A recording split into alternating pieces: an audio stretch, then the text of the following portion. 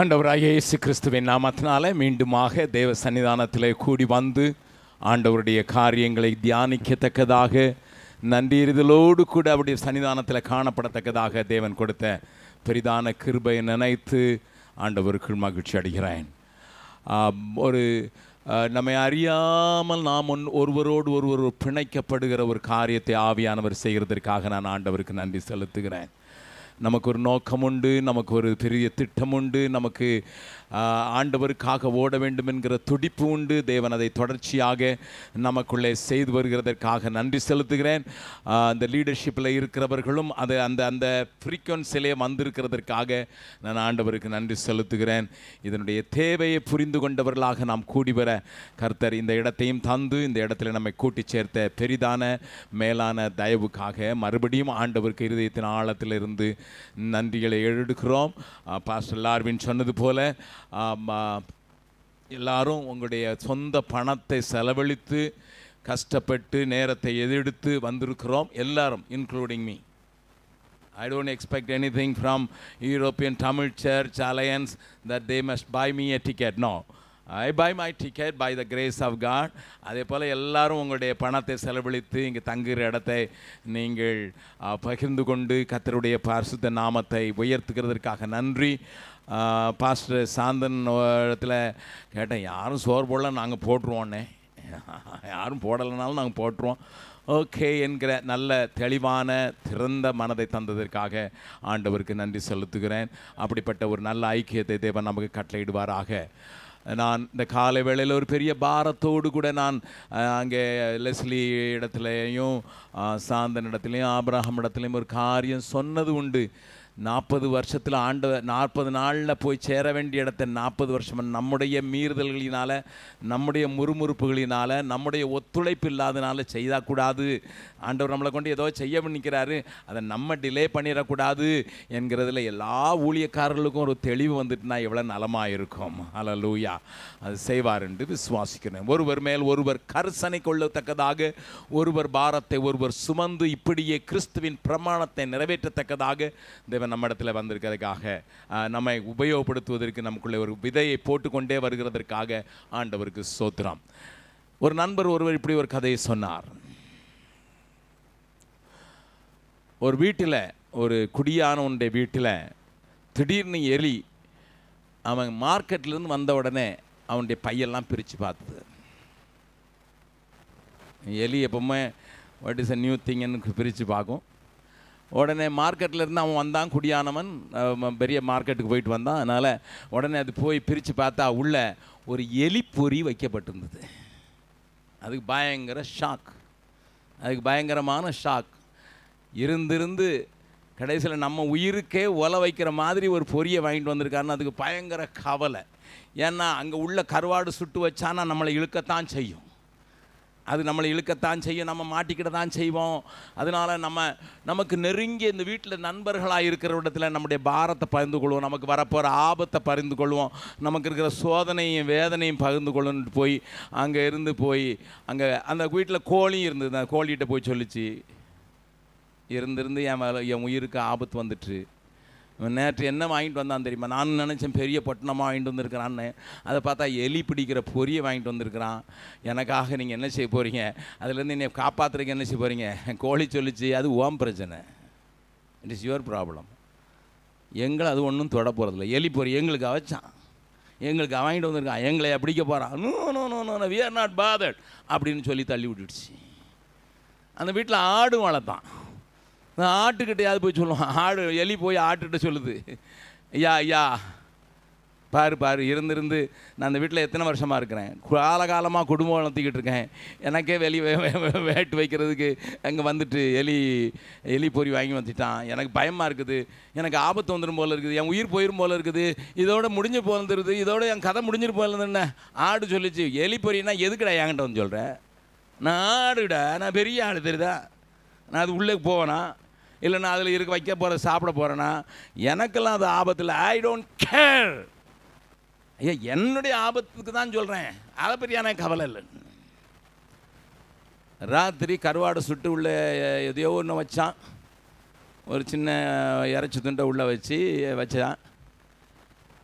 அந்த திடீர்னுட்டு ராத்திரியில் ஒரு சத்தம் கட்டுச்சு. எலி பொறி டப்பால்னு அடிக்கும். உங்களுக்கு பார்த்துருப்பீங்க. இங்கே எப்படி பிடிப்பீங்களா தெரியாது. இங்கே எலி இல்லை. எங்கள் இந்தியாவில் ட்ரெயினில் ஓடுற ட்ரெயினில் இருக்கும் என் மனைவி அடிக்கடிக்கு அடிச்சிருச்சு அவளுக்கு சுகர் இருக்கனால கடிச்சு ரத்தம் போனால் கூட தெரியாது. கால் என்ன ரத்தம் வருதுன்னா ராத்திரி எலி கடிச்சிட்டு எது ட்ரெயினில் இப்படி நிறைய நேரம் அதனால் எலி எங்களுக்கு ட்ரெயின்லேயே உண்டு அதனால் வீட்டில் நிச்சயமாக இருக்கும். நல்லா கவனிங்க இங்கே ஒரு வேளை எலி பரிய பார்த்துருக்க மாட்டீங்க. அதில் வச்சு நான் டப்புன்னு அடிக்கும்.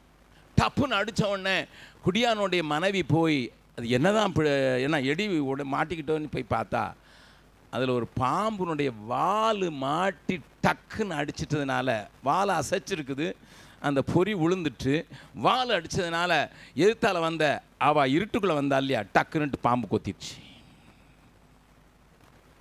குடியானுடைய மனைவிக்கு ஆபத்து வந்துட்டு அவள் கத்துனா குடியானை வந்து கூட்டிகிட்டு போய் அவளுக்கு சிகிச்சை பண்ணதில் அவள் ரொம்ப பலவீனமாயிட்டா.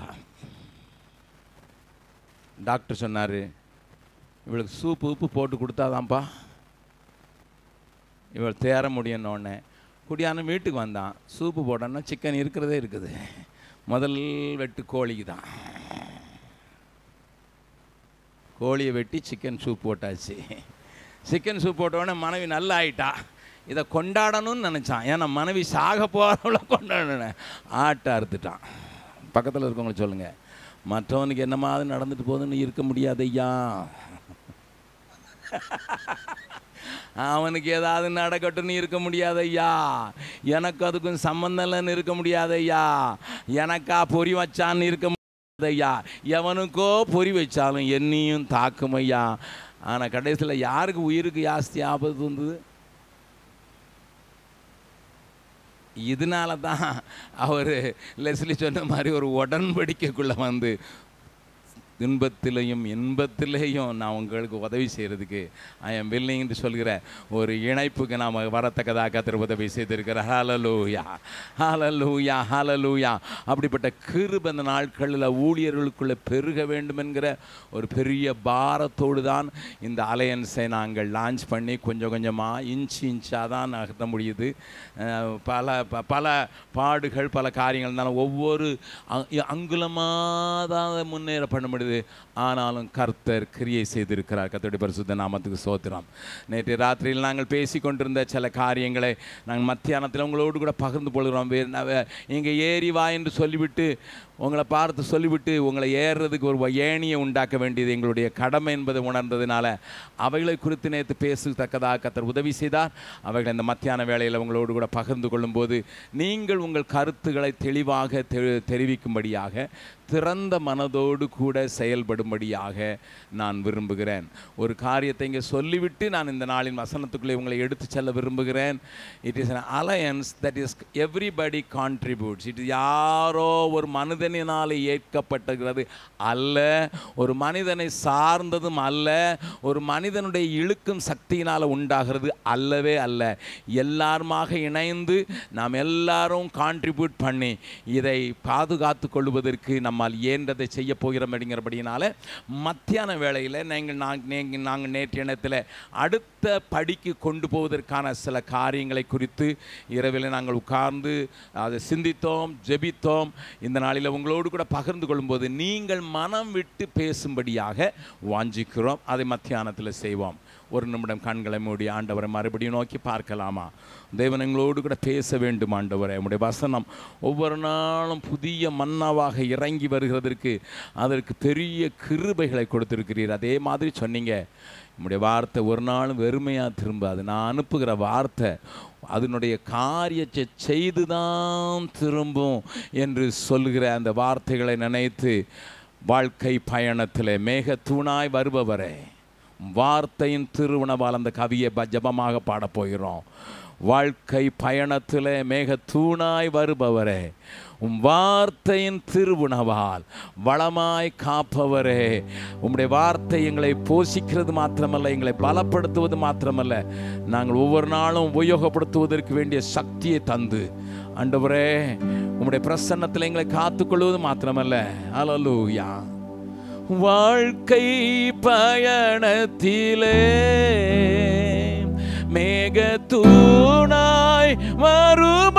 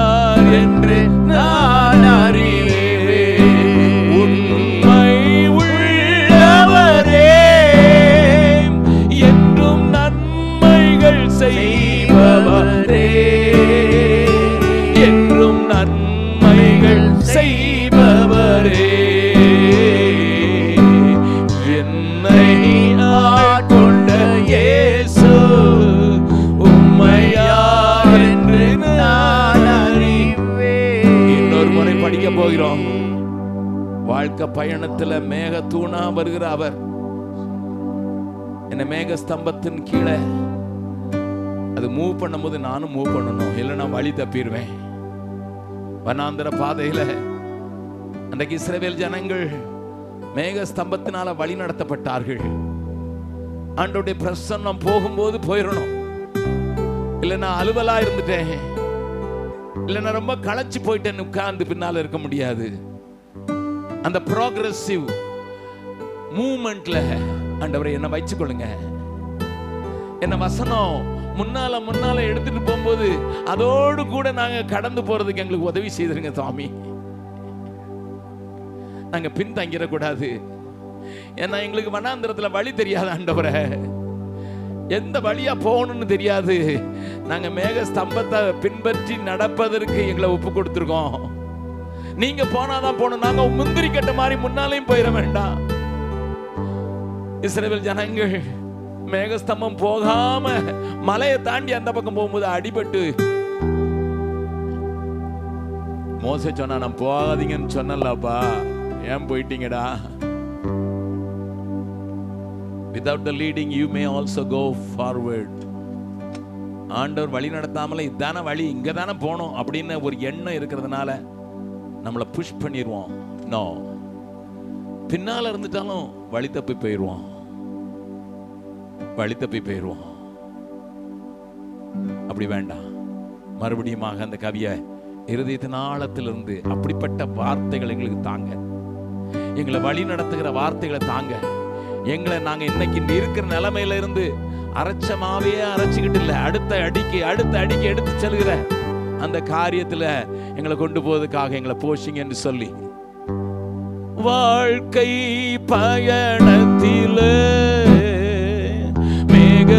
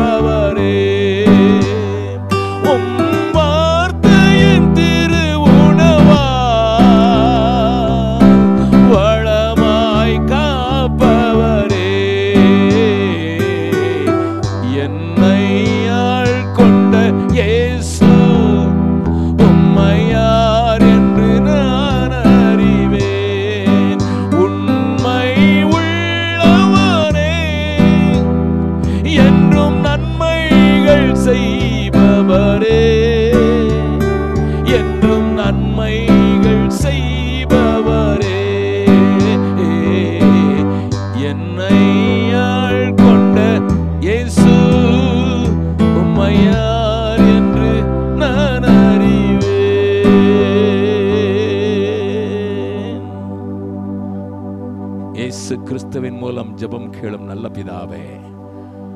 ஆமே இந்த நாளில் உங்களுக்கு முன்னதாக வேதத்தை காண்பித்து கொடுப்பதற்காக ஒரே ஒரு அதிகாரத்தை உங்களுக்கு முன்னதாக வைக்க விரும்புகிறேன். யோவான் எழுதின சுவிசேஷம் பதினேழாவது அதிகாரத்தை நாம் கொஞ்சம் தியானிக்க போகிறோம் இந்த கால வேளையில். யோவான் எழுதின சுவிசேஷம் பதினேழாவது அதிகாரம்.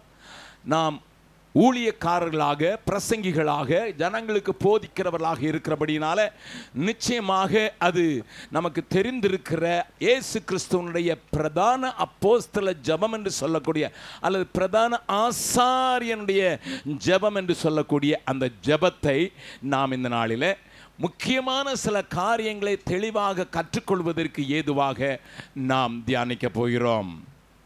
நீங்கள் அறிந்திருக்கிற ஒரு காரியத்திற்கு நான் கொஞ்சம் அழுத்தம் கொடுக்க விரும்புகிறேன். இரண்டாவது வசனத்தை வாசிக்கலாம். பிதாவே வேளை வந்தது. போதும். Father the hour has come. பிதாவே வேளை வந்தது. நன்றாய் கவனியுங்கள் அருமையான தேவனுடைய ஊழியக்காரர்களே. ஆண்டவர் தன்னுடைய ஊழியத்தினுடைய இறுதி நேரத்திற்கு வந்திருக்கிறார். அவருடைய வாழ்க்கையில் அவரை செங்குத்தான மலைக்குன்றிலிருந்து தள்ள பார்த்தார்கள். அது அவரை தாக்க முடியவில்லை. சிறு வயதிலேயே கொல்லுவதற்கான முயற்சி நடந்தது. அதில் சத்ரு வெற்றி பெறவில்லை. காற்றும் கடலையும் சந்தித்து அவரை அமிழ்ந்து போகும்படியான காரியங்கள் வந்தது.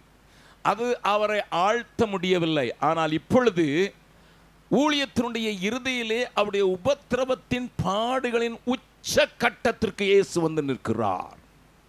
அறிவோடு கூட நிற்கிறார். தன்னோடு கூட சேர்ந்தவர்களுக்கு அவர் சொல்லுகிறார் மனுஷகுமாரன் இப்படியாக பாடுபட போகிறார் நிராகரிக்க போகிறார் அவமானப்படுத்தப்பட போகிறார் அவர் அடிக்கப்பட போகிறார் கொலை எண்ண போகிறார் என்று சீசர்களுக்கு தெளிவாக சொல்லுகிறார். வேத வாசனங்கள் நிறைவேறத்தக்கதாக என்றுதான் அந்த கடைசி வாரத்தில் ஆண்டவர் பல தடவைகள் சொல்லுகிறார். வேத வாக்கியம் நிறைவேறத்தக்கதாக வேத வாக்கியம் நிறைவேறத்தக்கதாக வேத வாக்கியம் நிறைவேறத்தக்கதாக என்கிற அந்த வார்த்தைகள் அதிகமாக நிறைவேறின காலம் அந்த கடைசி மணி நேரங்களே. அவருடைய வாழ்க்கையில் செய்து முடிக்காத அல்லது வேதம் சொல்லி தீர்க்கதரிசிகள் சொல்லி முடிக்காத காரியங்கள் அனைத்தையும் ஒட்டுமொத்தமாக முடிக்கிற ஒரு நேரத்திற்கு வந்திருக்கிறார். அதனுடைய காரியம் ஏசாய ஐம்பத்தி மூன்றாவது அதிகாரத்தினுடைய முழு நிறைவேறுதல் நடப்போ நடைபெறப் போகிறது. ஐம்பத்தி ரெண்டாவது அதிகாரத்தின் கடைசி வசனங்கள் அந்த கேடண்டைந்தார் அழகற்று தோன்றினார் என்கிற நிலைமைக்கு தள்ளப்பட போகிற ஒரு உச்சக்கட்ட பாடுகளுக்கு நேராக வந்து நிற்கிற முந்தின நேரத்திலே ஜபிக்கிறார். ஜஸ்ட் திங்க் ஆஃப் இட் இந்த நேரத்தை கொஞ்சம் யோசித்து பாருங்க. ஆண்டவருடைய பாடுகளுடைய அதிக உச்ச கட்டம் நிராகரிப்பினுடைய அதிக உச்ச கட்டம் ஏற்றுக்கொள்ளப்படாமல் இருக்கிற அதிக உச்ச கட்டம். அந்த நேரத்தில் அவர் ஒரு பெரிய டிக்ளரேஷனை கொடுக்கிறார். த அவர் ஹேஸ் கம் அந்த நேரத்தில் அது சொல்லிவிட்டு என்ன சொல்லுகிறார் நீர் உம்முடைய குமாரனுக்கு தந்தரின பின்பகுதியை நான் வாசிக்கிறேன் ஏனென்றால் ஆங்கிலத்தில் முன்னும் பின்னுமாக இருக்கிறதுனால அது ஆங்க தமிழில் இப்படி போடப்பட்டிருக்கிறது. அதனால் உம்முடைய குமாரன் உம்மை மகிமைப்படுத்தும்படிக்கு நீ உம்முடைய குமாரனை மகிமைப்படுத்தும். நல்ல கவனிங்க வார்த்தைகளை. நீங்கள் எவ்வளோ தூரம் இந்த வசனங்களை தியானித்திருப்பீர்கள் என்று நான் அறிய மாட்டேன். ஆனாலும் கொஞ்சம் வித்தியாசமான கோணத்தில் இந்த காரியத்தை நான் உங்களுக்கு முன்னதாக வைக்க விரும்புகிறேன். இதை ஏன் வைக்கிறேன் என்பதை நீங்கள் புரிந்து கொள்வதற்காக ஒரு வசனத்தை காண்பித்து கொடுத்துவிட்டு மறுபடியும் இங்கே வர விரும்புகிறேன். ஆண்டவராக இயேசு இந்த ஜெபத்தில் ஒரு மெரி பெரிய காரியம் உங்களை குறித்தும் என்னை குறித்தும் சொன்னதை பார்க்கலாம். இருபத்தி மூன்றாவது வசனம். ஒருமனப்பாட்டில் அ- அவர்கள் தேறினவர்களாய் இருக்கும்படிக்கும் நீர் அனுப்பினதையும் நீர் என்னில் அன்பாயிருக்கிறது போல அவர்களும் அன்பாயிருக்கிறதையும் உலகம் அறியும்படிக்கும் நான் அவர்களிலும். நீர் என்னிலும் இருக்கும்படிக்கு வேண்டிக் கொள்ளுகிறேன். இதில் எல்லாவற்றையும் நான் எடுக்க விரும்பல ஒரு முக்கியமான ஸ்டேட்மெண்ட் இயேசு கிறிஸ்துவனுடைய காரியத்தை சொல்ல விரும்புகிறேன். நீர் என்னில் அன்பாயிருக்கிறது போல அவர்களிலும் அன்பாயிருக்கிறதையும் உலகம் அறிய வேண்டும் எனக்கு இந்த வசனம் அநேக நேரங்களில் என்னை அழுக வைத்து அலறி ஆண்டவுடைய பாதத்தை பிடித்து கொண்டு ஆண்டவுடைய பாதங்களை முத்தமிட வைத்த வை வசனம் Am I worthy to be loved as Father loved Jesus Christ? இயேசு கிறிஸ்துவ போல என்ன பிதா நேசிக்கிறதுக்கு? இயேசு கிறிஸ்துவை போல என்னை பிதா அதே நிலையில் நேசிக்கிறதுக்கு நான் தகுதி உள்ளவனா? ஒரு நிமிஷம் யோசித்து பாருங்க. ஒரு அற்புதம் செய்ய முன்னாலேயே இவர் என் நேசகுமாரன் என்று சொல்ல முடியும்? மறுவாலே பிதாவாலே. இவரை பிரியமாய் இருக்கிறேன் என்று சொல்ல முடியும். ஒரு அற்புதம் செய்யலை ஒரு பிரசங்கம் பண்ணலை ஒரு ஊழியம் செய்யலை. ஊழியத்தினுடைய ஆரம்பத்திலேயே அவருக்கு அவ்வளோ பெரிய சர்டிஃபிகேட் பிதா கொடுக்க முடியும். ஏனென்றால் பர்ஃபெக்ட் இம்ப்ளிசிட் ஒபீடியன்ஸ் என்று ஆண்டவர் ஆங்கிலத்தில் சொல்வார்கள். முற்றிலுமான பூரணமான கீழ்ப்படிதல். நான் என்ன யோசிப்பாமே சில நேரங்களில்? ஆண்டவரே நீங்கள் இயேசுவை நேசிச்சிங்க உமக்கு குமாரன் அவர் பூரணமாக கீழ்ப்படிந்தாரு. ஆகையினால நீர் நேசிக்கிறது. ஓகே பட் ஆமாய் ஆமாய் சிந்தை வாழ்விலும் கூட அவருக்கு சோதனைகள் வந்த போதிலும் கூட பாவம் அறியாதவரே என்று வேதம் சொல்லுகிறது. ஈவன் இன் தாட் லைன் சிந்தையிலும் கூட பாவம் அறியாத அவர் ஓகே அவரை நீர் நேசிக்கிறதுக்கு அர்த்தம் இருக்குது. கீழ்ப்படுகிறதுலையும் அர்த்தம் இருக்குது பரிசுத்தமாக வாழ்ந்ததுலையும் அர்த்தம் இருக்குது. அவர் எனக்கு காண்பிக்கிறது எதுவோ அதையே நான் செய்கிறபடியினால என்று சொல்கிறாரு யோவானில். எல்லா வசனங்களும் நான் காண்பிக்க நேரம் இல்லை. உங்களுக்கு தெரியும். அவர் எனக்கு என்ன காண்பிக்கிறாரோ அதை தான் செய்கிறேன் குமாரன் தாமாக ஒன்றுமே செய்ய மாட்டார். இதெல்லாம் வச்சு எனக்கு டிக் மார்க் போட்டால் எல்லாத்துலேயும் ஃபெயில் மார்க் தானே கிடைக்குது. நானே யோசித்து செய்த எத்தனை காரியங்கள் உண்டு. அவர் காண்பிச்சதை மட்டும்தான் செய்தேனா? ஏசு தெளிவாக சொல்கிறாரு அவர் என்ன ஒரு நாளும் தனியாக இருக்கல. ஏன் தெரியுமா? நான் அவருக்கு பிரியமானதையே செய்கிறபடினால. I do only what is is and to him அதனாலே நீ தனியாக இருக்க விடலை. நான் தனியாக இருக்கும்போது நான் தனியாக இருக்கேன் தனியாக இருக்கேன் நான் தான் அடிச்சுக்கிடுவேன். பட் திடீர்னு சொல்லுவேன் நீர் என்னை விட்டு விலகுவதும் இல்லை என்னை கைவிடுவதும் இல்லைன்னு சொல்லிட்டு என்னை தேத்திக்கிடுவேன். ஆனால் அப்படிலாம் இல்லை. அவர் he was very clearly saying அவரை பார்த்து ஐ லவ் யூ மை சன்னு பிதா சொன்னார்னா நல்லது. என்னை பார்த்து சொல்கிறாரு என்ன பார்த்து சொல்கிறாரு என்ன பார்த்து சொல்கிறாரு நான் அதனால தான் நான் அந்த பாடலில் நான் எழுதின அந்த பாடலில் இப்படி நன்மை ஒன்றும் இல்லாதிருந்தும் பின்னையும் நேசித்திரியன் ஏசுநாதா நன்மை ஒன்றும் இல்லாதிருந்தும் பின்னையும் நேசித்தீர் என் ஏசுநாதா என் ஜீவன் ஆனாலும் சவானாலும் பின்பற்றுவே என் ஜீவன் ஆனாலும் சாவானாலும் பின்பற்றுவேன். இந்த இந்த வார்த்தையை நான் எழுதுனதுக்கு காரணமே தான் இதெல்லாம் தியானிச்சு தியானிச்சு பார்த்தது என் வாழ்க்கையில் அநேக நேரங்கள் அவருடைய காலை பிடிச்சி முத்தம் முடி முத்தமிட்டு பிதாவே இயேசுவை நேசித்ததுக்கு பூரணமாக நேசித்ததுக்கு எல்லாம் அவருக்கு பெர்ஃபெக்டாக இருந்தது. சிந்தை வாழ்வில் சரி செயல் வாழ்வில் சரி பிளான் பண்ணுறதுல சரி கீழ்ப்படுகிறதுல சரி எல்லாம் அவரை பார்த்து நீர் நேசிச்சுன்னு சொல்லி என்னைய போய் அவரை மாதிரியே நேசிக்கிறதுக்கு என்ன இல்லை அதனால தான் நன்மை ஒன்றும் இல்லாதிருந்தும் பின்னையும் நேசித்தீர் என் இயேசு. நான் தான் எழுதுனதுக்கு காரணம் தான் நல்லா கவனிங்க. ஆகையினால இப்ப நாம் பார்க்க போற எல்லாம் என் வாழ்க்கையிலையும் பொருந்தும்.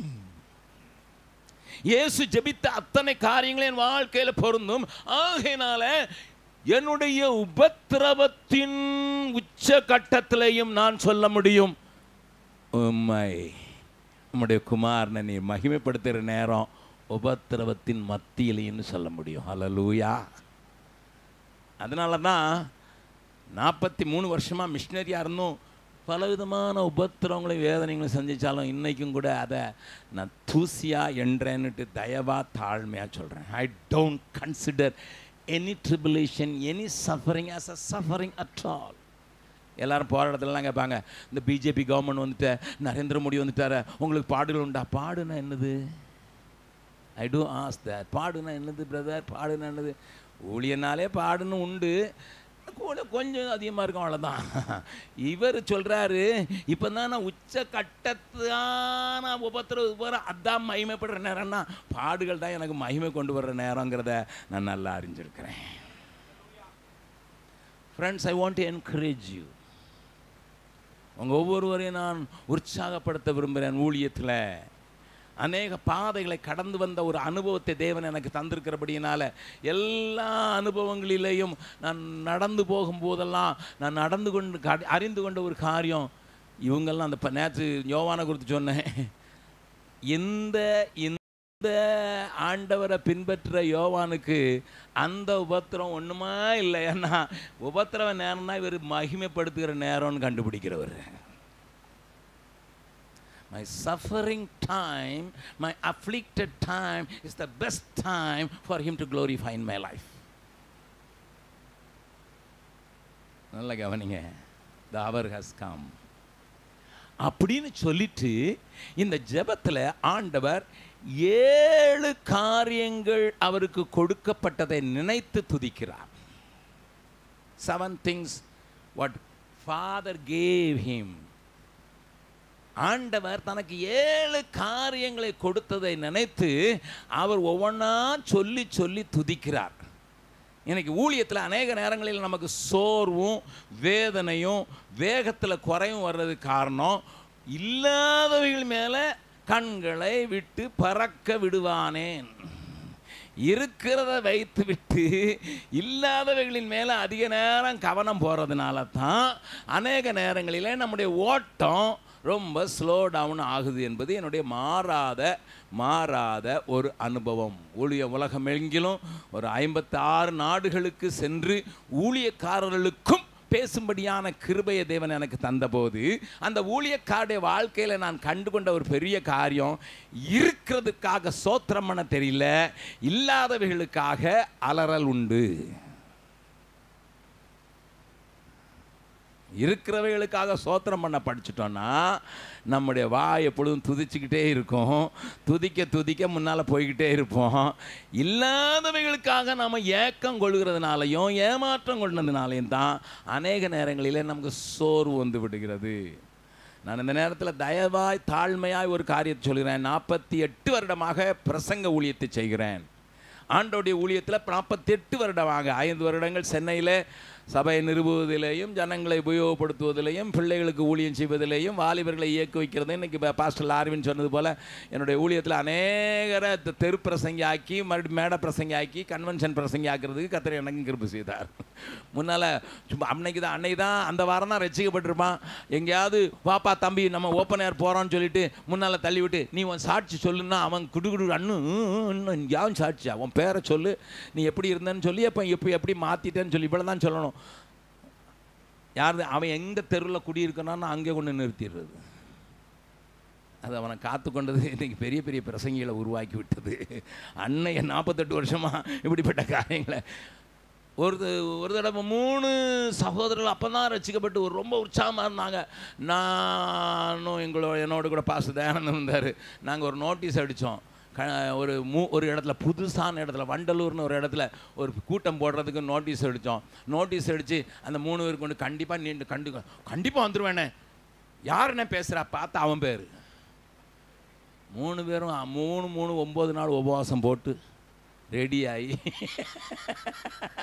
அந்த மாதம்தான் ரசிக்கப்பட்டாங்க அந்த மாதமே பிரசங்கி ஆக்கி விட்டார் நமக்கு சபையில் முப்பது வருஷம் ஆடுற ஆளையும் சங்கீதம் கூட கொடுக்குறதுக்கு இஷ்டம் இல்லை தான் நம்மோட நல்லா பிரசம் பண்ணிட்டானா அந்த பயம்லாம் நமக்கு உண்டு. ஆனால் அப்படியே பழக்கி அதனால் நாற்பத்தெட்டு வருடமாக ஊழியத்தில் ஈடுபட்டு கொண்டிருக்கிற நான் நடந்து வந்த பாதைகளில் நான் கற்று ஒரு காரியத்தை தள்ளியணும் நான் ஒரு நாள் கூட டிஸ்கரேஜ்மெண்ட்டு ஆகலை. நாட் அ சிங்கிள் டே தெய்வ சமூகத்தில் நான் சொல்லுவேன். ஒரு நாள் ஆட்களால் வச்சு டிஸப்பாயின்மெண்ட் ஆகிருக்கேன் டிஸ்கரேஜ் ஆகலை. ஆளுங்களை வச்சு ஐயோ இப்படி இருக்கிறானு அப்படிங்கிறதுனால கொஞ்சம் டிஸப்பாயின்மெண்ட் வந்தது. ஆனால் டிஸ்கரேஜ்மெண்ட்டே வராது. அதில் ஒரு காரணம் நான் இல்லாதவைகளை குறித்து ஏக்கம் கொள்வதற்கு ஆண்டவர் விடவில்லை. இருக்கிறவைகளை வைத்து துதிப்பதற்கு கத்திருக்கிறவை செய்தா உங்கள் ஊழிய வாழ்க்கையில் இப்படி இணைந்து போகிறதுக்கு பின்னதான் நான் அது கொண்டு வருகிறேன். ஆனால் அதுக்கு முன்னதாக ஆண்டவராகிய இயேசு ஏழு காரியங்களை சொல்லி சொல்லி சொல்லி சொல்லி ஆண்டவருடைய பிதாவை துதிக்கிற ஒரு காட்சியை தான் இந்த மகிமைப்படுகிற நேரத்தில் செய்கிறார். அதை பார்க்கலாம். நன்றாக திருப்பி வைத்துக் கொள்ளுங்கள். முதலாவது இப்பொழுது ரெண்டாவது வசனத்தை மறுபடியும் வாசிங்க சிஸ்டர். பிதாவே வேளை வந்தது. பிதாவே வேலை வந்தது. ம். நீர் உம்முடைய குமாரனுக்கு உம்முடைய குமாரனுக்கு தந்தருளின யாவர்க்கும் யாவருக்கும் அவர் நித்திய ஜீவனை கொடுக்கும் நித்திய ஜீவனை கொடுக்கும் பொருட்டு மாம்சமான யாவர் மேலும்? மாம்சமான யாவர் மேலும்? நீர் அவருக்கு அதிகாரம் கொடுத்தபடியே போதும். You have given him authority நல்லா கவனிங்க. ஆண்டவராகிய இயேசு பிதாவை பார்த்து சொல்கிற ஒரு பெரிய மகத்துவமான ஒரு காரியத்தை நீங்கள் புரிந்து கொள்ளும்படியாக நான் இந்த காரியத்தை சொல்ல விரும்புகிறேன். ஆங்கிலத்தில் அது அழகாரு you have given me authority எனக்கு அதிகாரம் தந்திருக்கிறீரே. அதற்காக. நல்லா கவனிங்க. ஒரு தம்பி என்கிட்ட வந்து இப்படி ஒரு கேள்வி கேட்டான். என்ன கேள்வி கேட்டான்? அண்ணே எனக்கு சில கேள்விகள் இருக்குது நீங்கள் பதில் சொல்லுங்கள் நீங்கள் தான் சரியான ஆள் என்று கொஞ்சம் நான் சொன்னேன் சரியான ஆள் இல்லையோ? நீ கேட்குற கேள்வி உனக்கும் எனக்கும் பிரயோஜனமாக இருந்ததுன்னா நான் பதில் சொல்கிறேன்னு சொன்னேன். வேதம் சொல்லுகிறது ஏசு கிறிஸ்துவோடு கூட நீங்களும் பிழைத்திருக்கிறீர்கள். இனி நீங்கள் அல்ல அவரே உங்களில் பிழைத்திருக்கிறார் என்று வேதத்தில் சொல்லப்பட்டிருக்கிறது உண்மைதானே என்றான்.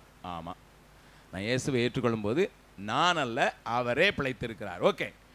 ஆண்டவராகிய இயேசு கிறிஸ்துவோடு உன்னதங்களிலே உட்கார வைக்கப்பட்டீர்கள் என்று எழுதப்பட்டிருக்கிறது அல்லவா ஆமாம் ஆண்டவரோடு உன்னதங்களில் இருக்கிற உன்னதங்களில் உட்கார வைக்கப்பட்டிருக்கிறோம். அப்படின்னா ஏசு கிறிஸ்துக்கு இருந்த அதிகாரம்லாம் ஏன் நமக்கு இல்லை? தட் வாஸ் இஸ் கொஸ்டின் ஊழியக்காரராகி உங்கள் இடத்துல வந்து கேட்டாங்கன்னா நீங்கள் என்ன பதில் சொல்வீங்கன்னு தெரியாது. நான் இன்னும் சொல்லுப்பா அப்படின்னு சொன்னேன். ஏசு தண்ணீர் மேலே நடந்தார். இயற்கையின் நியதிகளுக்கு மேலே அவருக்கு அதிகாரம். ஏசு காற்றையும் கடலையும் கடலையும் அதட்டினார் அது அப்படியே நின்று போச்சு. இது அவருக்கு இயற்கையின் மேலே இருந்த ஆளுகையை தெளிவாக காண்கிறது. நம்ம கூட்டத்தில் மழை வந்தால் கூட நிறுத்தலை. எப்போமாவது நின்றுட்டுனா உடனே அதை ஃபோட்டோ எடுத்து போட்டுருவாங்க. அத்தர் என் ஜபத்தை கேட்டார் எலியா வந்துட்டாருன்னுட்டு. தட்ஸ் அ டிஃப்ரெண்ட் ஸ்டோரி சில நேரம் எப்பமாவது நின்றும் மழையை கே- மழை பெய்யும் போது நம்ம ஜெபம் கேட்ட உடனே அந்த மழை நின்றும் உடனே எலியாவின் தி- எலியா போன்ற தீர்க்கதரிசி எழும்பி விட்டார். பாருங்க இவர் சொன்னார். ஆனால் அடுத்த கூட்டத்தில் அதே மலையில் அவர் கொடையை பிடிச்சிட்டு ஓடுறத பார்க்கலாம்.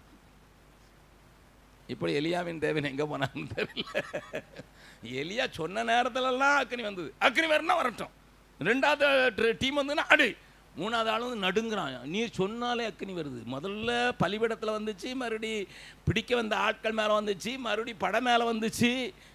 சொன்ன போதெல்லாம் அக்னி வந்துச்சு இல்லை அப்போ எலியாவின் தீர்க்கதரிசி இன்னைக்கு சொன்ன போதெல்லாம் மழை நிற்கணும்ல அக்னி வராட்டாலும் மழையாவது நிற்கணும்ல ஆ அவன் கேட்ட கேள்வி சரியான ஒரு வாலிபன்.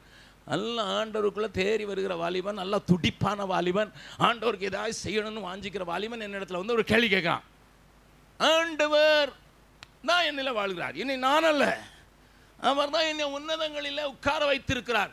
அதனால நான் சாதாரண லெவலில் இல்லை. நான் seated along with Jesus Christ இப்போ இந்த சின்ன அதிகாரமே இல்லை.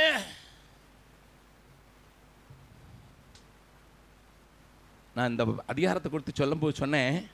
நான் சொல்ல போகிற ஏழும் நமக்கும் சொந்தங்கிறதுனால தான் முதல்ல ஒரு வசனத்தை காட்டினேன்.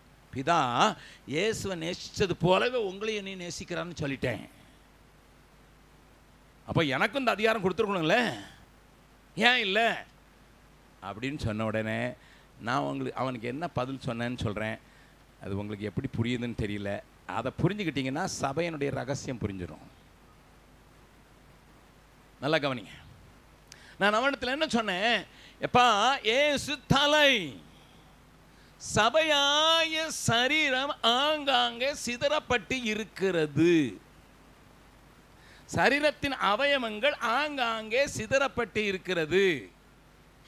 என்றைக்கு இந்த சரீரமாய சபை ஒன்றிணைந்து அந்த தலையோடு பொருந்துமோ அன்றைக்கு இந்த அதிகாரம் சபைக்கு பூரணமாக இருப்பதை நீ பார்க்கலாம்.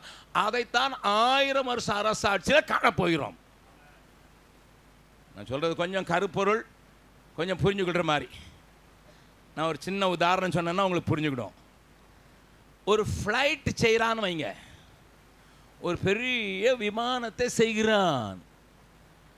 அங்கே ஒரு போல்ட் செய்கிறான் இங்கே ஒரு ரெக்கை செய்கிறான் இங்கே ஒரு சீட்டு செய்கிறான் அங்கே ஒரு இன்ஜின் செய்கிறான் அங்கே ஒரு மற்ற சாமான் கொண்டு போகிற பெட்டி செய்கிறான் இதெல்லாம் ஆங்காங்கே செய்து ஆங்காங்கே அதை பெர்ஃபெக்டாக செய்தா இங்கே செய்கிற நட்டு இங்கே செய்கிற போல்ட்டில் சரியாக ஃபிட் ஆகும்.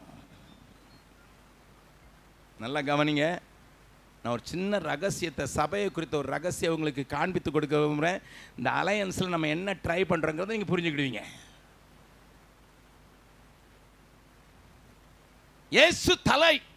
அவர் பர்ஃபெக்டாக இருக்கிறார். அதில் ஒரு சம்பந்த சந்தேகம் இல்லை இப்போ அந்த சபையாகிய ஒவ்வொரு சபையிலுடைய ஒவ்வொரு உதிரி பாகங்களும் ஆங்காங்கே செய்யப்படுகிறது. சுவிட்சர்லாண்டில் கொஞ்சம் செய்யப்படுது ச ஜெர்மனில் கொஞ்சம் செய்யப்படுது பாரிஸில் கொஞ்சம் செய்யப்படுது லண்டனில் கொஞ்சம் செய்யப்படுது அங்கே உள்ளுக்குள்ளே செய்யப்படுது. ஒவ்வொரு சின்ன சபையும் சேர்ந்து ஒருவேளை ஒரு சின்ன ச ஒரு சபையில் இன்ஜின் செய்வாங்க ஒரு சபையில் நட்டு தான் செய்கிறாங்க பக்கத்தில் உங்கள் கையை பிடிச்சிக்காளுங்க உங்கள் சபையில் என்ன செய்கிறீங்க பெரிய சபையாக இருந்ததுன்னா ஒரு வேளை இன்ஜின் செய்யலாம். நாங்கள் பெரிய இன்ஜின் செய்கிறோம் very good sir very good sir ஆமாம் சில சபையில் நல்லா சீட் உட்கார சீட் செய்வாங்க. பட் நமக்கு நான் பின்னால் போகும் முன்னால் போகும் அதெல்லாம் செய்வாங்க. ஆமாம் எதையும் செய்கிறாங்க ஆனால் எல்லோரும் அதை பெர்ஃபெக்டாக செய்யணும். அப்பந்தான் மத்திய ஆகாயத்தில் அவர் வரும்போது இந்த உதிரி பாகங்கள்லாம் அங்கே போய் தான் ஃபிட் ஆகும். அங்கே போய் சேர்ந்த உடனே ஆயிரம் வருஷத்தில் அத்தனை அதிகாரமும் நமக்கு கொடுக்கப்படும். விளங்குச்சா? விளங்குச்சா? எல்லாம் ஒரே ஃபேக்ட்ரியில் செய்யலை சார் சார் தமிழ்நாட்டில் பீகாரில் என்னைய வச்சு என்ன செய்கிறாரோ ஆண்டவர் தான் தெரியும். நான் ஏதோ செய்கிறானா ஒன்றும் செய்ய மாட்டேன்னு தெரியும். பக்கத்தில் உங்கள் கையை பிடிச்சி கையை பிடிச்சி கொஞ்சம் நல்லா உலுப்பி சொல்லுங்க. செய்வன திருந்த செய்.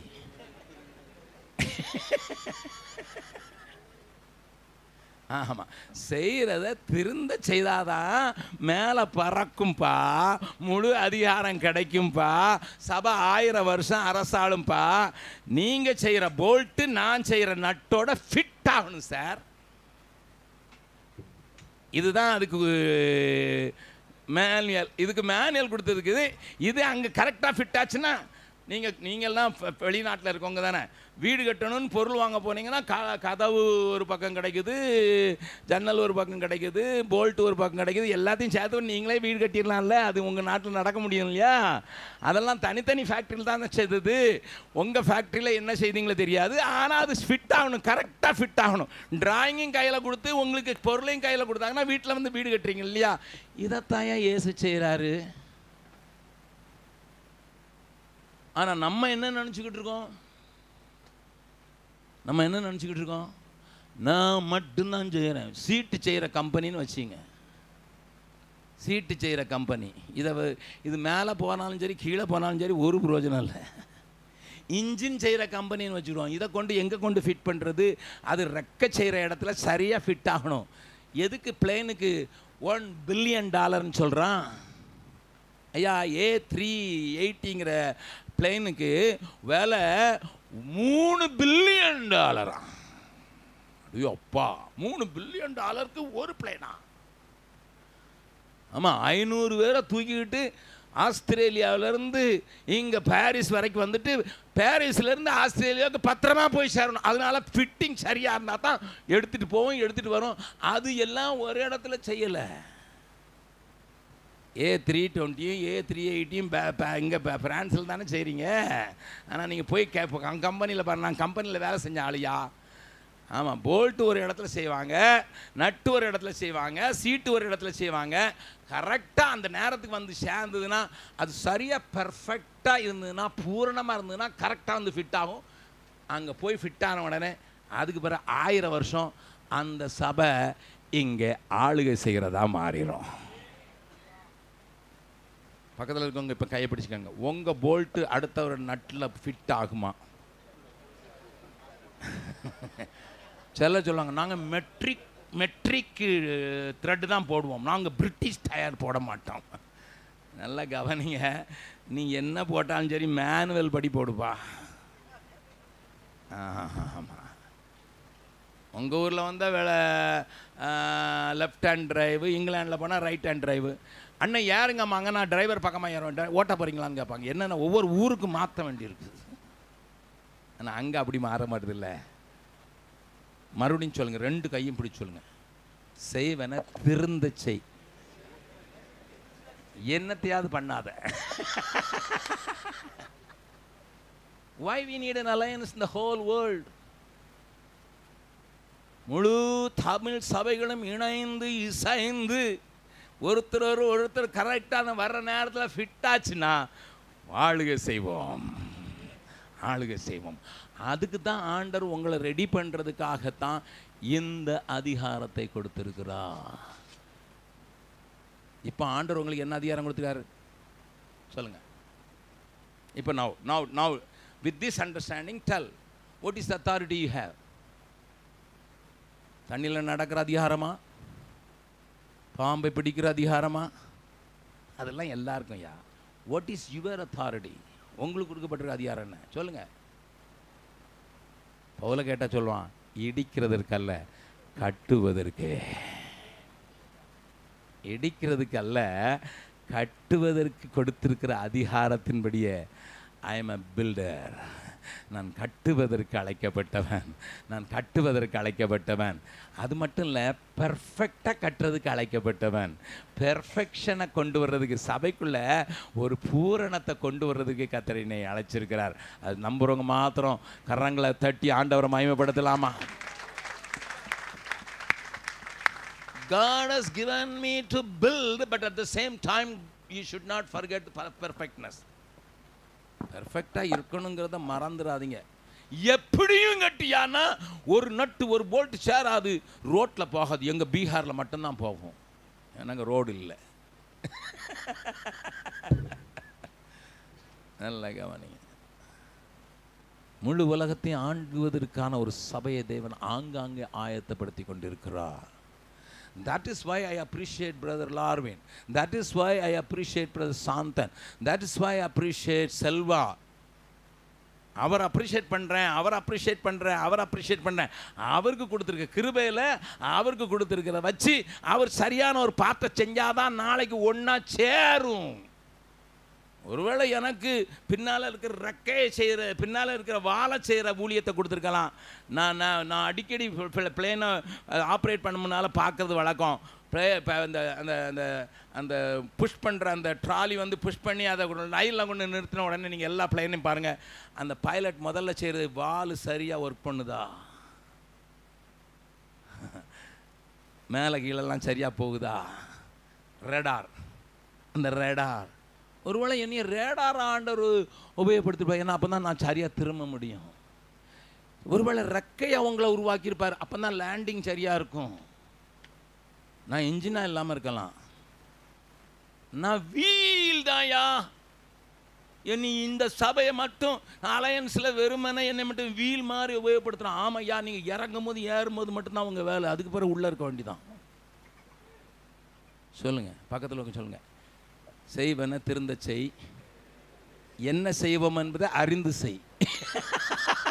இதுதான் பிரச்சனை நமக்கு. ஒரு கூட்டத்துக்கு பாஸ்டர்ஸ் கூட்டத்துக்கு கூப்பிட்டாச்சுன்னா எனக்கு ஒரு ஜெபம் கொடுத்தானுங்களா? கூப்பிட்டானுங்க பெருசா. அரே எல்லாருக்கும் ஜெபம் கொடுக்க முடியாது. ஏன் ஒன்னையும் வந்து நாங்கள் வீலாக தான் யூஸ் பண்ண முடியும்.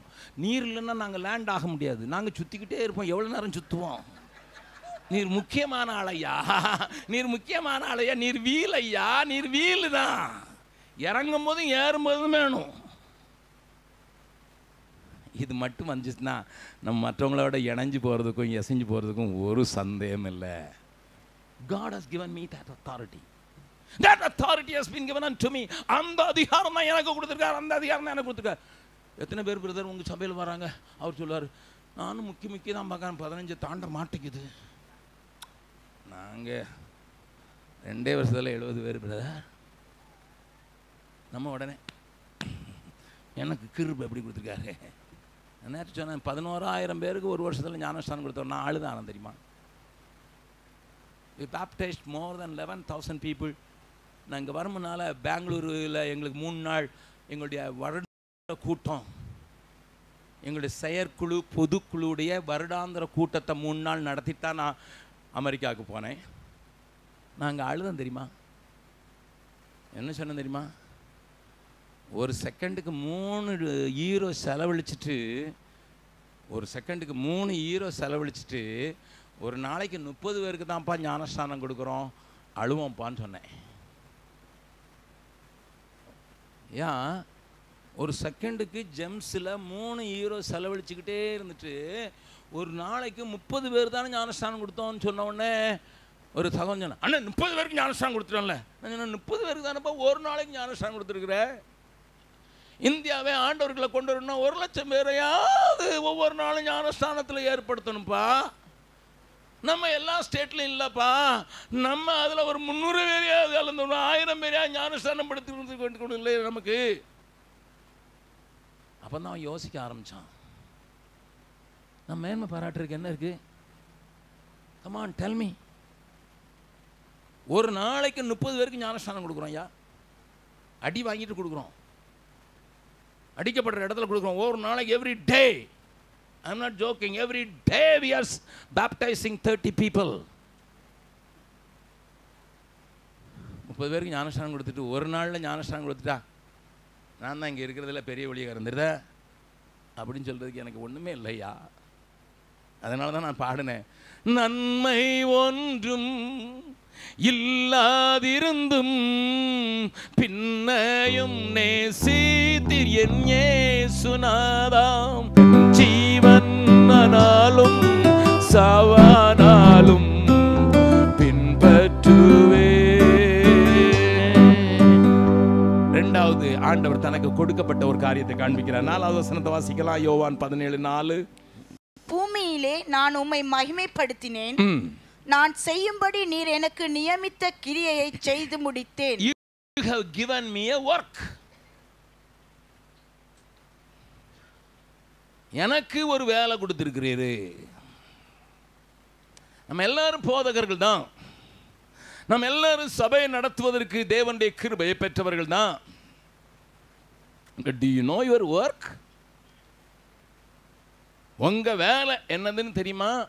இந்த முழு உலகத்திலையும் இருக்கிற அந்த அகிலாண்ட சபையில் இந்த தலைமுறையில் எனக்கு ஆண்டவர் என்ன வேலை கொடுத்திருக்கிறார்.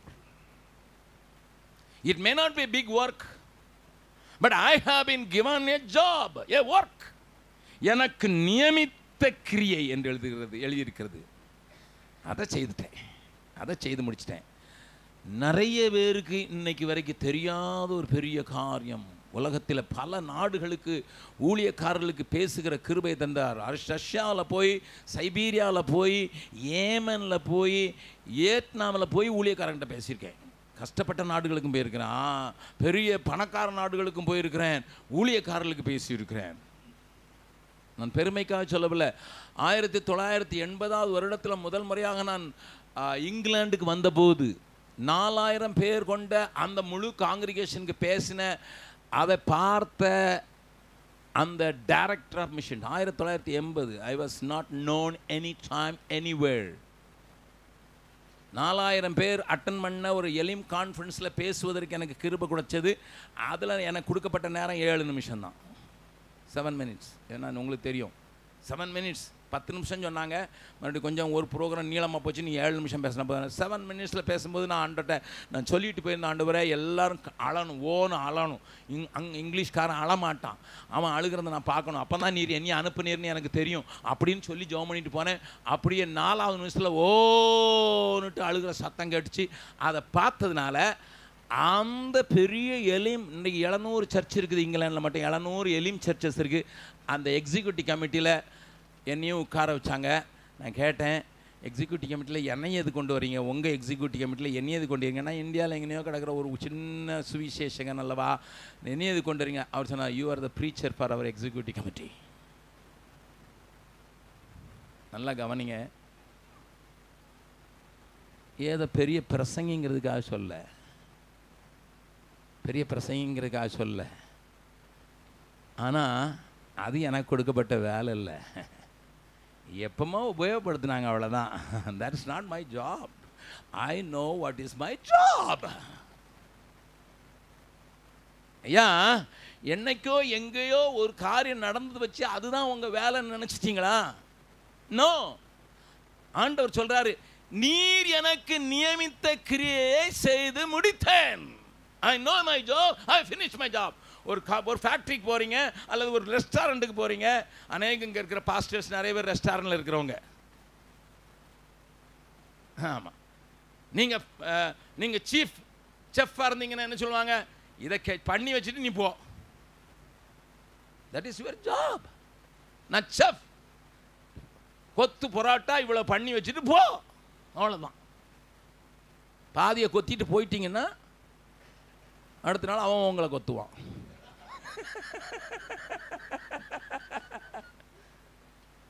இப்போ நிறைய பேர் சின்ன பிள்ளைங்க விளையாடுற மாதிரி தான் ஃபுட்பால் விளையாடும்போது சின்ன பிள்ளைங்க விளையாடுறது பார்த்துருக்கீங்களா ஃபுட்பால் ஃபுட்பால் சின்ன பிள்ளைங்க விளையாடுறது பார்த்துருக்கீங்களா? பத்து பேரும் ஒரே பந்து தான் அடிப்பான்.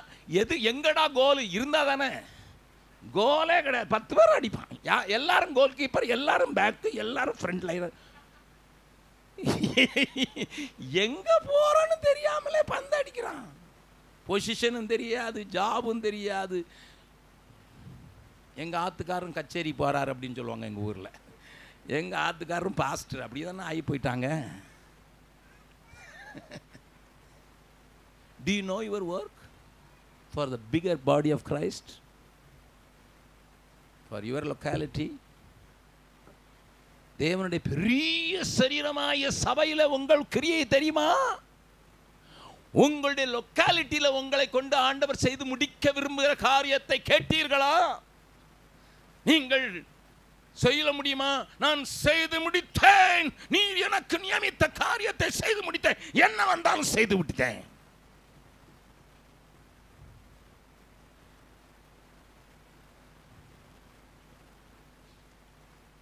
பிப்ரவரி மாதத்தில் நாங்கள் ஒரு மூணு நாள் கூட்டம் வெளிக்கூட்டம் போட ஆயத்தப்பட்டிருந்தோம். என்னை நேசிக்கிற ஒரு சகோதரத்திலேருந்து ஒரு இமெயில் வந்துச்சு. முப்பது வருஷமாக அண்ணே உங்களுக்காக நான் ஜபிக்கிறேன் என்று அவர் எனக்கு எழுதினார்.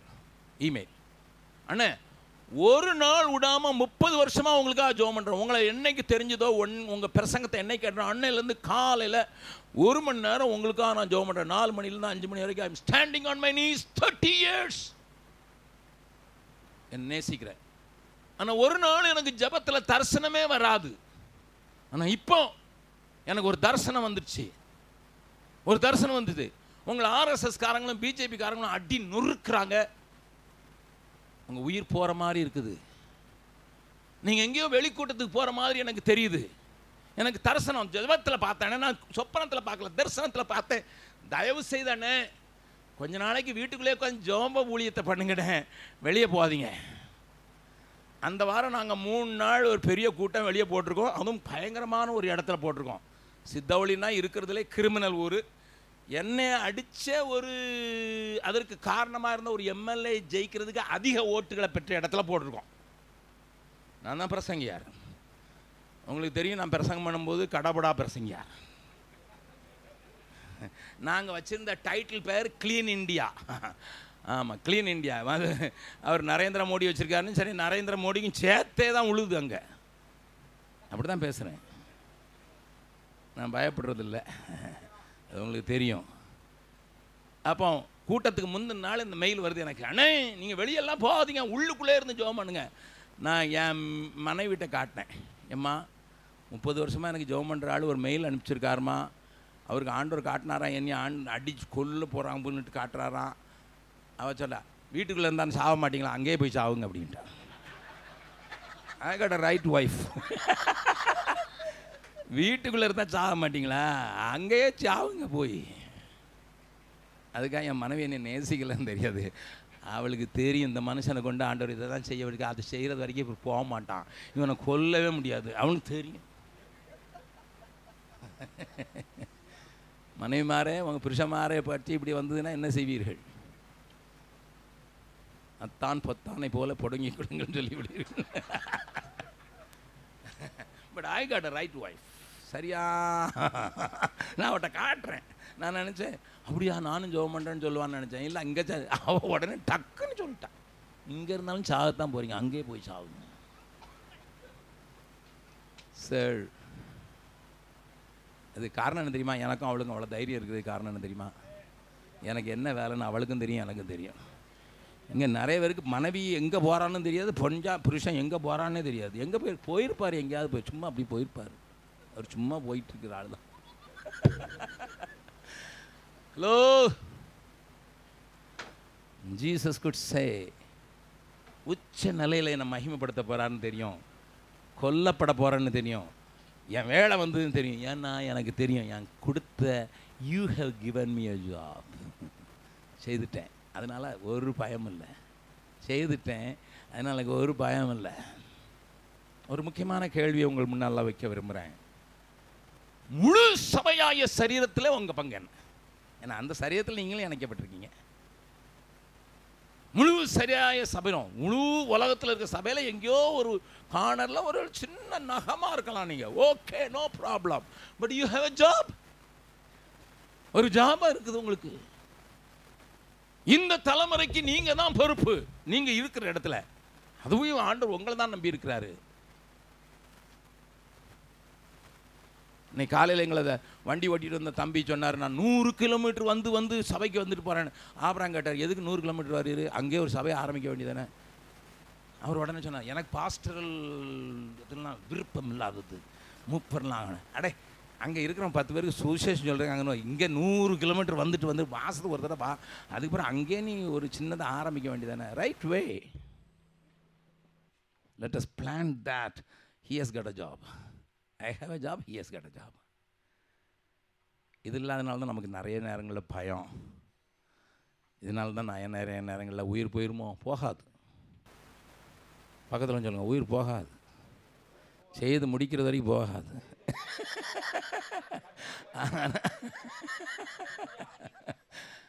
லூயா நான் ஆண்டோட சொல்லியிருக்கேன் ஆண்டவரை செய்து முடிச்சிட்டேன்னா அடுத்த நிமிஷமே தூக்கிடும் when you know that I have finished my job my role take me அதுக்கு பாருங்க என்ன வேலை? மற்றவங்களுக்கு பாரமாக இருக்கணுமா you You gave me a job. You gave மூணாவது ஆறாவது வருஷம் நீர் உலகத்தில் தெரிந்தெடுத்து எனக்கு தந்த மனுஷருக்கு உம்முடைய நாமத்தை வெளிப்படுத்தினேன். அவர்கள் உம்முடையவர்களாய் இருந்தார்கள். அவர்களை எனக்கு தந்தீர். அவர்கள் உம்முடைய வசனத்தை கை கொண்டிருக்கிறார்கள். You have given me men. அது ஆண்டவர் அழகா சொல்றார்.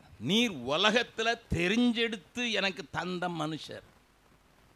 கொஞ்சம் பாஸ்டர் லார்வின் சொன்னார் ஏசு கிறிஸ்து பன்னெண்டு பேரை வச்சு உலகத்தை கலக்கிற மாதிரி எல்லாத்தையும் செய்துட்டு போயிட்டார்னு ஆரம்பத்தில் சொன்னார். இவங்களை கடைஞ்சு எடுத்து பிதா கொடுத்துருக்காரு. கடைஞ்சு எடுத்த ஆள் எப்படிங்கான்னு தெரியுமா? பன்னெண்டு பேரையும் கொஞ்சம் யோசித்து பாருங்க. கடைஞ்செடுத்த முட்டாள்களையா கொடுக்கணும்.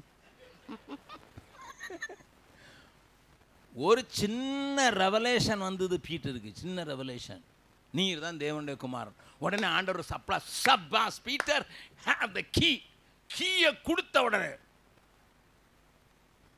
வாரம் கடிந்து கொள்வான். இப்படிலாம் சம்பவிக்க கூடாதுன்னு.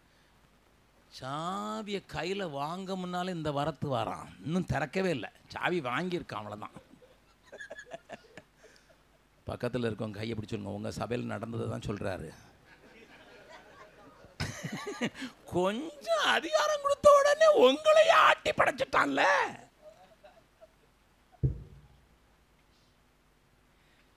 நம்ம என்ன சொல்லிப்பான்? இந்த மாதிரி ஆளை நீர் தேடி கண்டுபிடிச்சு தெரிஞ்சிடுச்சு வேற கொடுத்தீதான் நல்ல கவனிங்க. நான் சொன்ன ஏழு காரியங்களுக்காக ஆண்டவர் சோஸ்தரிக்கிறார்னுட்டு. பிதாவை பார்த்து பிதாவை நீங்கள் மகிமைப்படுற நேரம் என்னில் மகிமைப்படுற நேரம். I praise you for all these thing முதல்ல நீர் எனக்கு கொடுத்த அதிகாரத்துக்காக நன்றி. ரெண்டாவது நீர் எனக்கு கொடுத்த வேலைக்காக நன்றி. மூணாவது எனக்கு கொடுத்த ஆட்களுக்காக நன்றி. Can you say that brothers I got a book in my Bible these are the two hundred and four people இந்த லீடர்ஷிப் அலாங் வித் மீ இதை அப்பப்போ எடுத்து கை வச்சு கை வச்சு. சோத்திரம் ஆண்டவரே இவர்கள் இருக்க கிருபை இந்த இதுக்காக சோத்திரம். இவங்க தந்ததுக்காக சோத்திரம். இவர்கள் இந்த குறை இருந்தாலும் கூட இவங்களை எனக்கு தந்திருக்கீங்கன்னுட்டு ஒவ்வொருத்தரையாக அதுக்காக தான் இந்த புக்கு போட்டோம்.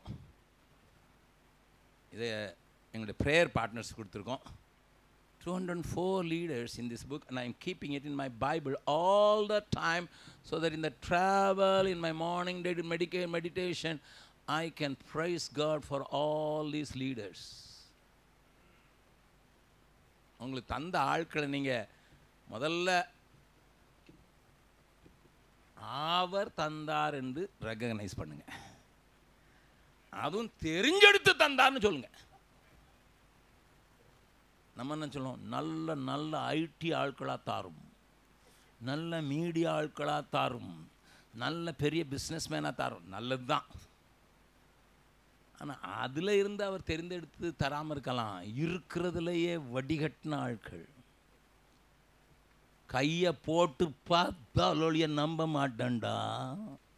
நீங்கள் எல்லாரும் சொன்னாலும் நம்பிடுவோண்ணா ஏசு உயிரோடு எழுந்துட்டான்னு சும்மா கதை அடிக்கிறீங்களே எல்லாரும் சொப்பனம் பார்த்துக்கிட்டு இருக்கேடா இவரும் தெரிந்தெடுத்த ஆள் தான் மற்றவன் சொன்னான் நம்பவே மாட்டேன்டா. நான் உட்காந்து யோசித்து பார்ப்பேன். ஆண்டவரை பன்னெண்டு பேரை தெரிஞ்சு கூட. நல்ல ஆட்களாக தெரிஞ்சு கூடாதா கலிலேயாவிலிருந்து ஒரு தீர்க்கதரிசி நாலாயிரம் வருஷம் எழும்பவே இல்லை. அந்த பன்னெண்டு பேரும் கலிலேயாவில் இருந்து father you choose like this இப்படிப்பட்ட ஆளையா தெரிஞ்சுக்கிட்டு இருக்கீங்க. என் ஊழியக்காரங்க தெரிஞ்ச காலத்தை நான் சில நேரங்களில் சொல்லியிருக்குதுங்க சொல்கிறது வழக்கம். ஆரம்பத்தில் ஆரம்பத்தில் பீகாருக்கு போன உடனேயே கிடைச்சவங்கெல்லாம் கூட வச்சு ட்ரெயின் பண்ணி இவங்களை தந்திருக்கீங்க தந்திருக்கீங்கன்னுட்டு சோறை பொங்கி போட்டாது எண்ணத்தை போட்டாது அவங்கள உள்ளே வச்சு நான் ட்ரெயின் பண்ணும்போது அந்த நாட்களில் எங்களுக்கு ஏழ்மையின் அடித்தட்டில் இருக்கிறோம். நாங்களும் சிம்பிளிசிட்டியாகவும் வாழணும். அதனால் எங்களை யாருக்கும் தெரியாது பணம் கேட்குறது இல்லை அதனால் யாராவது அனுப்புனாத உண்டு. அதனால் நான் போட்டிருந்ததுலாம் ரெண்டு ட்ரெஸ் ரெண்டு பனியன் ரெண்டு முதல்ல ஒரு ட்ரெஸ்ஸில் இருந்த ரெண்டரை வருஷம். என் மனைவி சொன்னால் நீங்கள் ராத்திரிலாம் குளிர் நேரத்தில் துவைக்க சொல்லாதீங்க. ராத்திரியில் நீங்கள் வாஷ் பண்ணிவிட்டு போட சொல்கிறீங்க எனக்கு ராத்திரி நேரத்தில் எனக்கு கால் இழுத்துக்கிடுது அப்படின்னு சொன்னதுனால இன்னொரு ட்ரெஸ் வாங்கினேன். ரெண்டாவது ட்ரெஸ் ரெண்டாவது ட்ரெஸ் வாங்கினதுனால ரெண்டு சட்டை ரெண்டு பேண்ட்டு ரெண்டு ஜட்டி ரெண்டு பனியன். இதில் இதில் இதில் வாழணும் இதில் ஒரு அஞ்சு வருஷம் வாழ்ந்தேன் அப்படி. நான் I'm not going to elaborate வா அதிகம் வாங்க முடியாது நான் அப்படி வாழ்ந்தேன். வாழும்போது என் கூட தீமோத்தேன்னு ஒரு பையன் இருந்தான். அவன் பயங்கரமான கஞ்சா பேர் வழியாக இருந்தான். இருபத்தி நாலு மணி நேரம் கஞ்சா அடிக்கிற ஆள். அடித்த ஆள் இந்த சாதுக்களோடே கலந்தான் அவனை ஆர்டர் வச்சுட்டாரு அவன் பழைய பேர் அர்ஜுன் அவனை தீமத்தையும் கொண்டு அவனையும் கூட வச்சுருந்தேன். நான் திடீர்னு ஒரு நாள் குளிச்சுட்டு ஏமா என் அன்றவரை பார்த்தியான்னா அவன் சொல்ல நான் போட்டிருக்கேனே.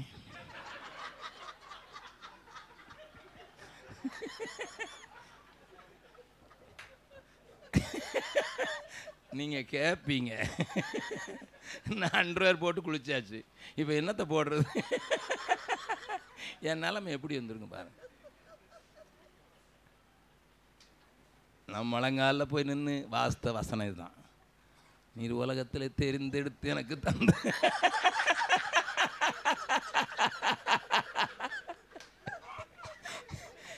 இவ்வளோ பெரிய பீகாரில்.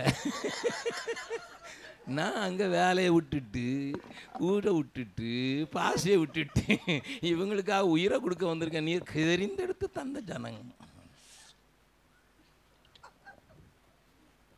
Can you just imagine can you just worship the lord ஆண்டவரே ஐ ப்ரைஸ் யூ நம்ம சோஸ்தரிக்கிறேன் ஆண்டவரே.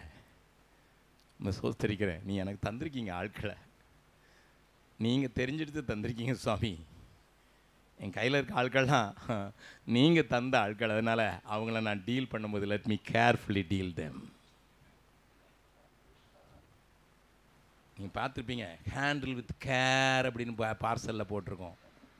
ஹேண்டில் வித் கேர் பிதா தான் எனக்கு கொடுத்தாருன்னு சொல்கிற ஆளை நீங்கள் திரும்ப கொடுக்கும்போது எப்படி கொடுப்பீங்க? ரெண்டு தாளந்து வாங்கினவன் ரெண்டாக கொண்டு போய் கொடுக்க முடியாது. ஒன்று வாங்கினவன் ஒன்றா கொடுக்க முடியாது. வந்த மாதிரியே பாதுகாத்துக்கிட்டேன் நான். விசுவாசி நிறைய விசுவாசி. எப்படி வந்தானோ அப்படியே தான் இருக்கிறான். நம்ம பிதா வந்து கேட்பார் நம்ம ஆண்டவர் வந்து கேட்பார் எப்பா உனக்கு ஒன்று நம்பி கொஞ்சம் ஆளுக்கில் கொடுத்தேன். நீர் கொடுத்த மாதிரியே கொடுக்குறேன். உடனே உங்களை என்ன சொன்ன பொல்லாத ஊழியக்காரனே? பக்கத்தில் கேளுங்க. உங்கள் ஆளை எவ்வளோ டெவலப் பண்ணியிருக்கீங்க? கேளுங்க. கெட்டு போகாமல் இருக்கானா? அதுவே பெருசு. மற்ற சபைக்கு போயிட்டு மறுபடி வந்தானா? அதுவே பெருசு. இது இப்படி தான் நம்ம சாட்சி.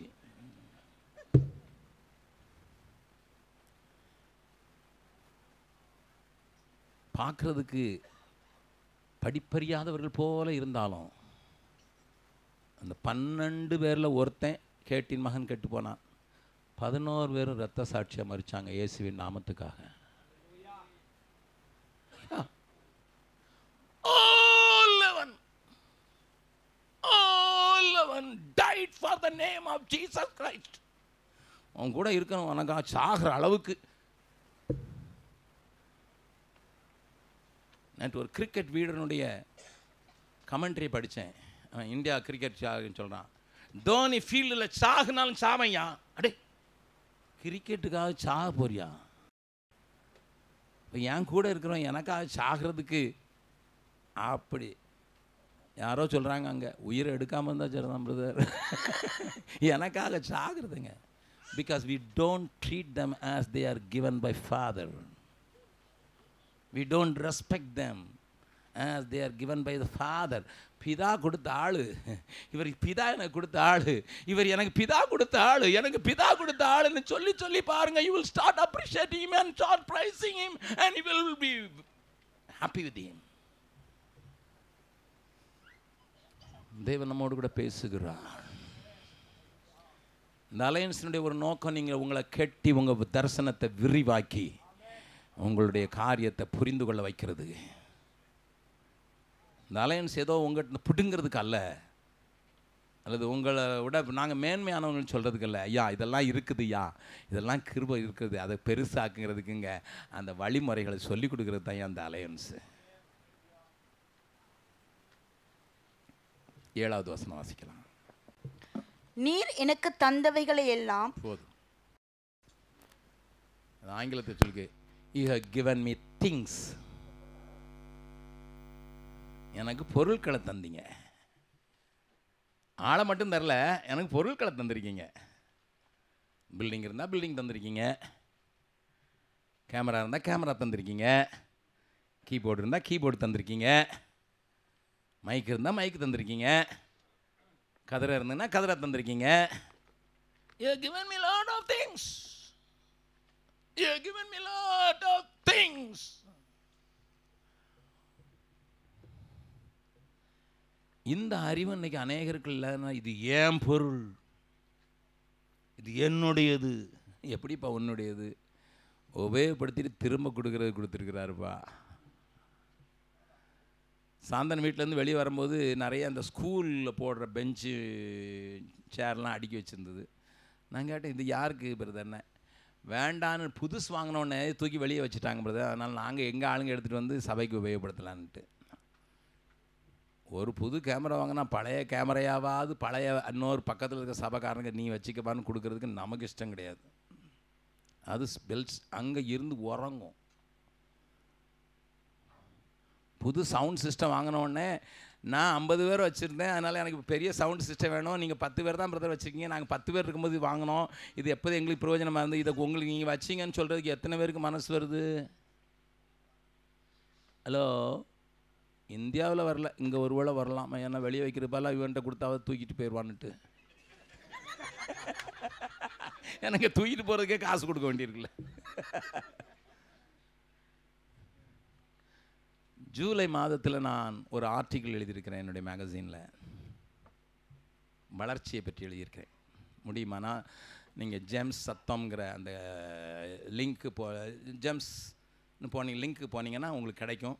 எங்கள் மேகசீனை இப்போ அனுப்ப முடியறதில்ல. எங்களுக்கு போஸ்டல் கேன்சலேஷன் பண்ணிட்டாங்க. யுத்த சத்தம் வைக்கக்கூடாதுன்னு சொல்லிட்டாங்க. யுத்தம் வைக்கக்கூடாதுன்னு சொல்லிட்டாங்க. அதனால் அதை பேர் மாத்திரக்கு ட்ரை பண்ணிக்கிட்டு இருக்கோம். இன்னும் அப்ரூவல் ஆகலை. அதனால் ஜெம் சத்தம். அதனால் நாங்கள் எலக்ட்ரானிக் மூலமாகவே அனுப்பிக்கிட்டு இருக்கோம். அதில் நான் இந்த மாதம் ஜூலை மாதத்துக்கு எழுதியிருக்கேன்.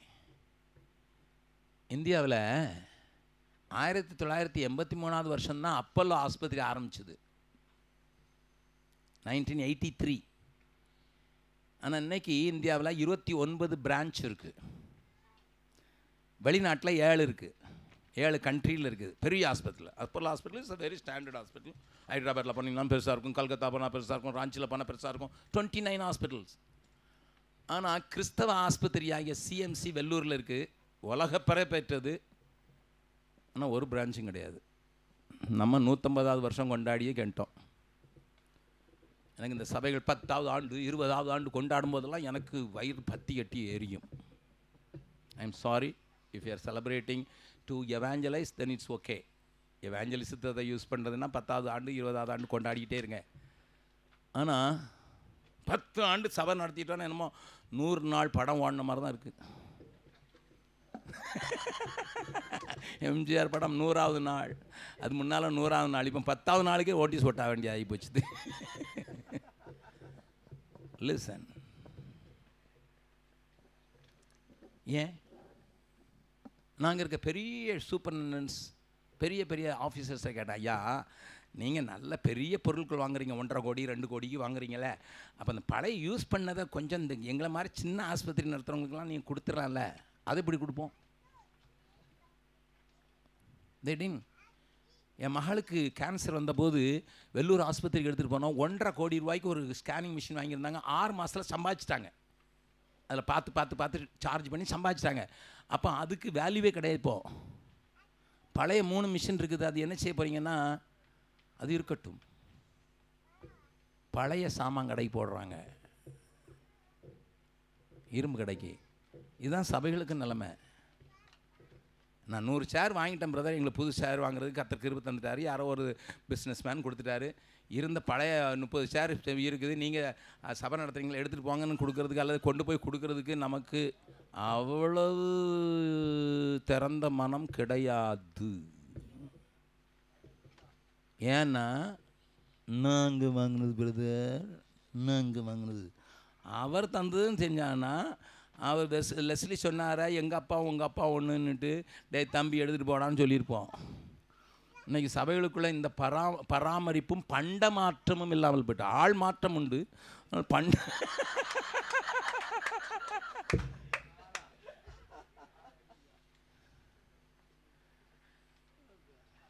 you have given me things. You have I don't own any thing எனக்கு சொந்தமல்ல. ஆனால் அவர் கொடுத்தது. அதனால் இப்போ யாருக்கு உபயோகப்படணுமோ அங்கே இருக்கட்டும். யாருக்கு உபயோகப்படணும் அங்கே இருக்கட்டும். நான் அதனால தான் அதில் எழுதியிருக்கேன். ஆலமரமாக வளர வேண்டாம். வாழைமரமாக வளருவோம். ஆலமரத்துக்கு கீழே ஒன்றும் வளராது.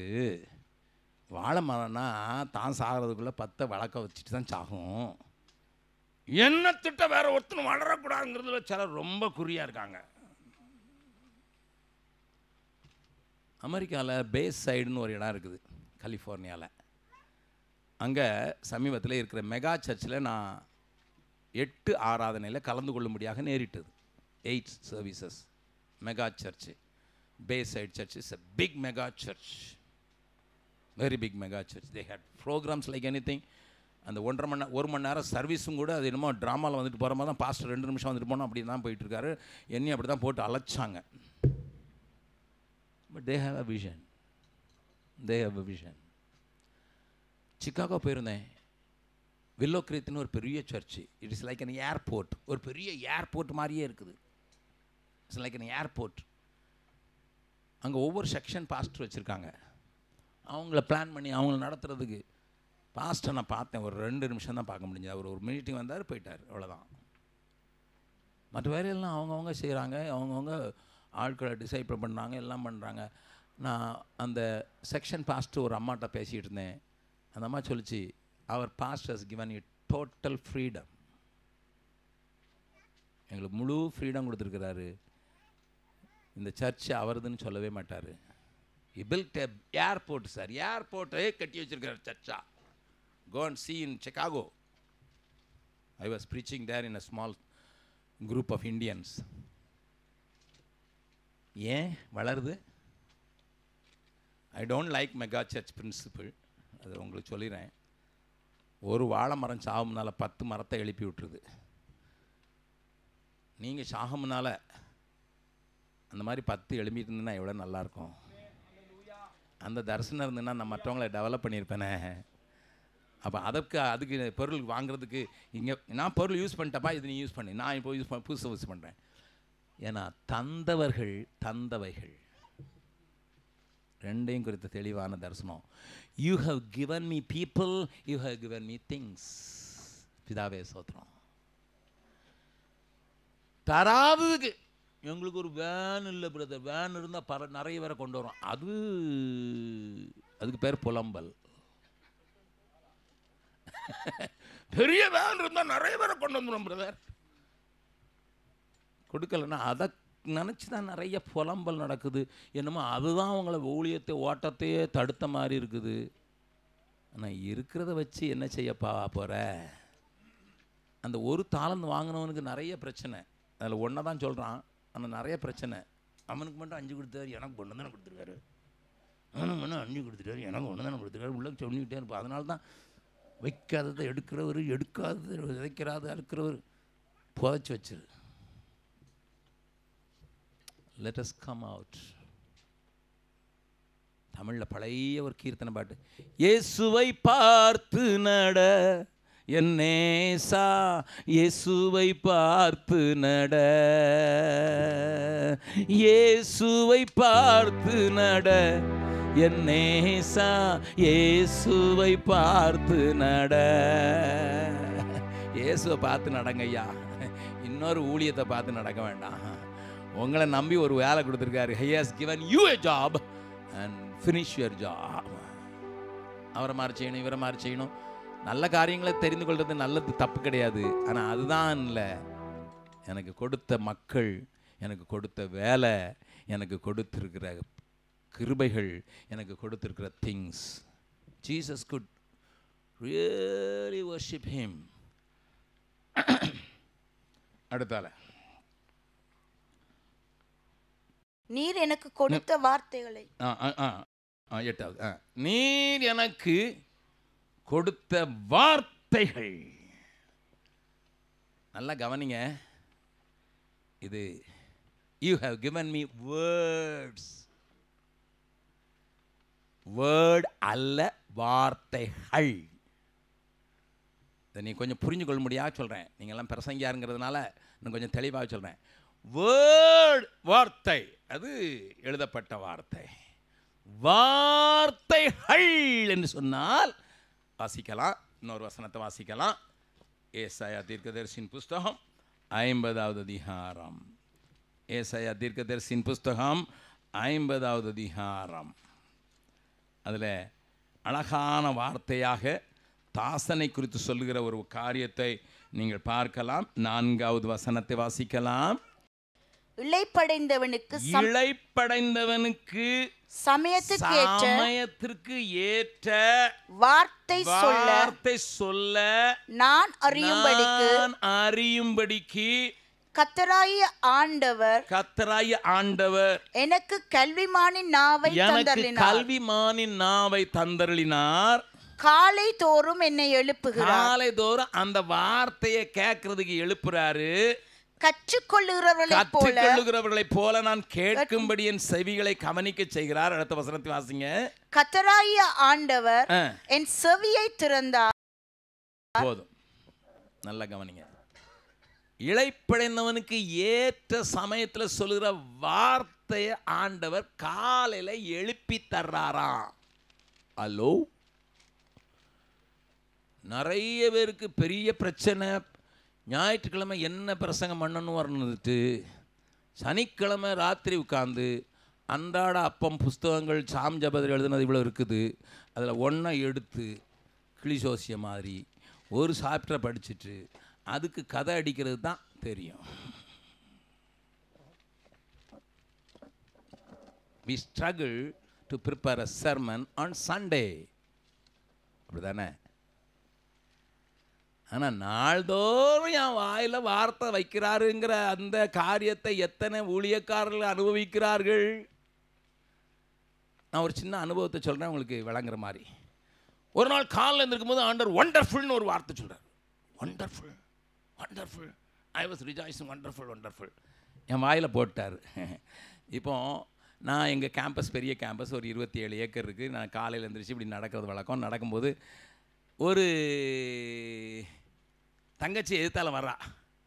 நான் சொன்னேன் ஒண்டர்ஃபுல் ப்ரைஸ் தலாட் சொல்லல. ஒண்டர்ஃபுல் ஓ நாளுதுட்டா அங்கிள் நெசமாக தான் சொல்கிறீங்களா ஆமாம்மா ஒண்டர்ஃபுல் நான் இன்னைக்கு உங்களை வந்து ஆஃபீஸில் வந்து பார்த்துட்டு ஜெம்ஸை விட்டு போகலான்னு தான் வந்தேன். ஏன்னா எல்லாரும் சொன்னாங்க உன்ட்ட ஒன்றுமே இல்லடி. நீ ஒன்றுமே இல்லாமல் இருக்க. உனக்கு அழகும் இல்லை சௌந்தரியம் இல்லை அறிவும் இல்லை ஒன்றும் இல்லாமல் இருக்கிற. நீ உதவாக்காரன்னு சொல்லி சொல்லி சொல்லி சொல்லி திட்டிக்கிட்டே இருக்கனால நீ காலையில் வந்து நான் ஜெம்ஸை விட்டு போகலான்னு சொன்னேன் நீங்களும் ஒண்டர்ஃபுல்னு சொல்கிறீங்க அது போதும் அங்கிள் செத்தாலும் போக மாட்டேன்னு இருக்கா இப்போ. கல்யாணமும் ஆகலான்னா இருக்கிறா. புருஷன் கிடைக்குதுன்னு பார்த்தா கிடைக்கல ஆனாலும் இருக்கிறா. ஒன் வேர்ட் சரின்னுட்டு கொஞ்சம் தூரம் இன்னும் கொஞ்சம் தூரம் பிரதர் ஏப்ராமுக்கு தெரியும். நாங்கள் காலையில் எழுந்திரிச்சு டிவோஷன் அஞ்சு மணிலேருந்து ஆறு மணி வரைக்கும். அதுக்கு பிறகு கொஞ்சம் ஒரு வாக்கிங் போகிறது வழக்கம். இன்னொரு இன்னொரு தங்கச்சி அதால் அவசர அவசரமாக அங்கே வேலை செய்துக்கிட்டு இருக்கா. நான் ஒண்டர்ஃபுல் அப்படின்னா நான் வேலையை தான் அப்ரிஷியேட் பண்ண மாதிரி ஒண்டர்ஃபுல் உங்களுக்கு எப்படி தெரியும் அங்கிள் என்னம்மா காலையில் நாலு மணிக்கு தான் எங்கள் அம்மா ஃபோன் பண்ணி எனக்கு மாப்பிள்ளை பார்த்துட்டாங்கன்னு சொன்னாங்க. உங்களுக்கு எப்படி தெரியுங்க அங்கிள் எனக்கு என்ன தெரியும்? ஆண்டவர் ஒண்டர்ஃபுல்னு சொன்னார். நான் தீர்மானம் பண்ணேன். பார்க்குற மூணு பேருக்கு ஒண்டர்ஃபுல்னு சொல்லுவேன்ட்டு பிரைஸ்லாட் சொல்கிற வழக்கம். ஆனால் மூணு பேருக்கு ஒண்டர்ஃபுல்னு சொன்னேன். ஒருத்தர் போகிறவங்களும் நிறுத்திட்டாங்க ஒருத்தர் பயங்கர சந்தோஷம். அவரும் ஜெம்ஸுக்கு வர்றேன்னு சொல்லிட்டார். ஒரு ஆள் இன்னொரு ஆள் கிடச்சிட்டு எனக்கு. நான் கேட்குறேன் ஒரு ஆளுங்க do you receive a word every day from the lord காலையிலே எழுப்புறாரு. ஒரு பாட்டு மூலம் சொல்லுவார் ஒரு வசனத்தின் மூலம் சொல்லுவார் ஒரு இன்சிடென்ட் மூலம் சொல்லுவார் காலையில் எழும்பும்போது என்ன கொடுத்துறாரு? வி ஃபெயில் டு லிசன் அதனால தான் ஆண்டவர் சொல்கிறார் என் செ தீர்க்க சொல்ல அவர் என் செவிகளை திறந்தார். இது இயேசு கிறிஸ்தனுடைய அனுபவம். அதனால தான் சொல்கிறாரு காலையில் எந்திரிச்சு அதிகாலையில் அவர் தேடுறதுக்கு போகிறார் குமாரன்னா பிதா அவருக்கு ரொம்ப நெருக்கமானவர் தான் ஆனால் காலையில் எந்திரிச்சு பிதாவே இன்னைக்கு என்ன வார்த்தை எனக்கு சொல்ல போறீங்கிறத கேட்கறதுக்கு போனேன். ஃப்ரெண்ட்ஸ் அந்த வார்த்தைகள் கிடைச்சதுன்னா அது உங்களை எவ்வளோ உற்சாகப்படுத்தும் எங்களை உங்களை எவ்வளோ உபயோகப்படுத்தும்னு சொல்லிட்டு நான் பேசிக்கொண்டே இருக்கலாம். தேவன் உங்களோடு கூட பேசுகிறார். Do you have a word from the lord நாங்கள் உட்காந்துருக்கும் போது பாஸ்டர் லார்வின் என்னை பார்த்து இங்கே என்னை கூப்பிடம்னால் சொன்னார் அவருக்கு ஒரு வசனம் கொடுத்துருக்காரு ஆண்டவர் அதை தான் சொல்ல போகிறார் அப்படின்ட்டு I know the lord has given me the word And Abraham travels with me to different places, whether it is in America or England or Sweden or Russia or here. He him. அந்த குரூப்புக்கு ஏற்றல சரியாக கத்தர் வேறு கொடுக்க ஏன்னா காலைல எந்திரிச்சு என்ன வேர்டு கொடுக்கணுங்கிறத நான் அங்கே கேட்டுட்டு தான் அதுக்கு தான் கொடுக்குறேன் இது என்னுடைய சின்ன ப்ராக்டிஸ் பிரசங்கத்தை ரெடியாக வச்சுட்டு அதனால தான் எனக்கு செர்மன் நோட்டும் கிடையாது மார்க் பைபிளும் கிடையாது. I don't have mark Bible N Bible வேணும்னு கேட்பாங்க. இப்போ ஒரு மார்க்கிங் இல்லைப்பா வேணுன்னா வாங்கிக்க. Because I receive a word for you இன்னைக்கு காலையில் உங்களுக்கு பேசணுங்கிறத இந்த காத்தத்தை ஆண்டு எழுது எனக்கு கொடுத்ததுனால தான் ஏன் பேசுகிறேன் ஏதோ பேசணுங்கிறதுக்காக பல நாட்களாக ஜெபம் பண்ணேன். இந்த கூட்டத்துக்காக பல நாட்களாக ஜோம் பண்ணேன். பட் இன்னைக்கு என்ன பேசணுங்கிறது எனக்கு ஆண்டோர் தாராரு. இழைப்படுந்தவனுக்கு ஏற்ற வார்த்தையை சொல்லும்படி ஆண்டவர் என்னை எழுப்புகிறாருன்னு தைரியமாக சொல்லணும்.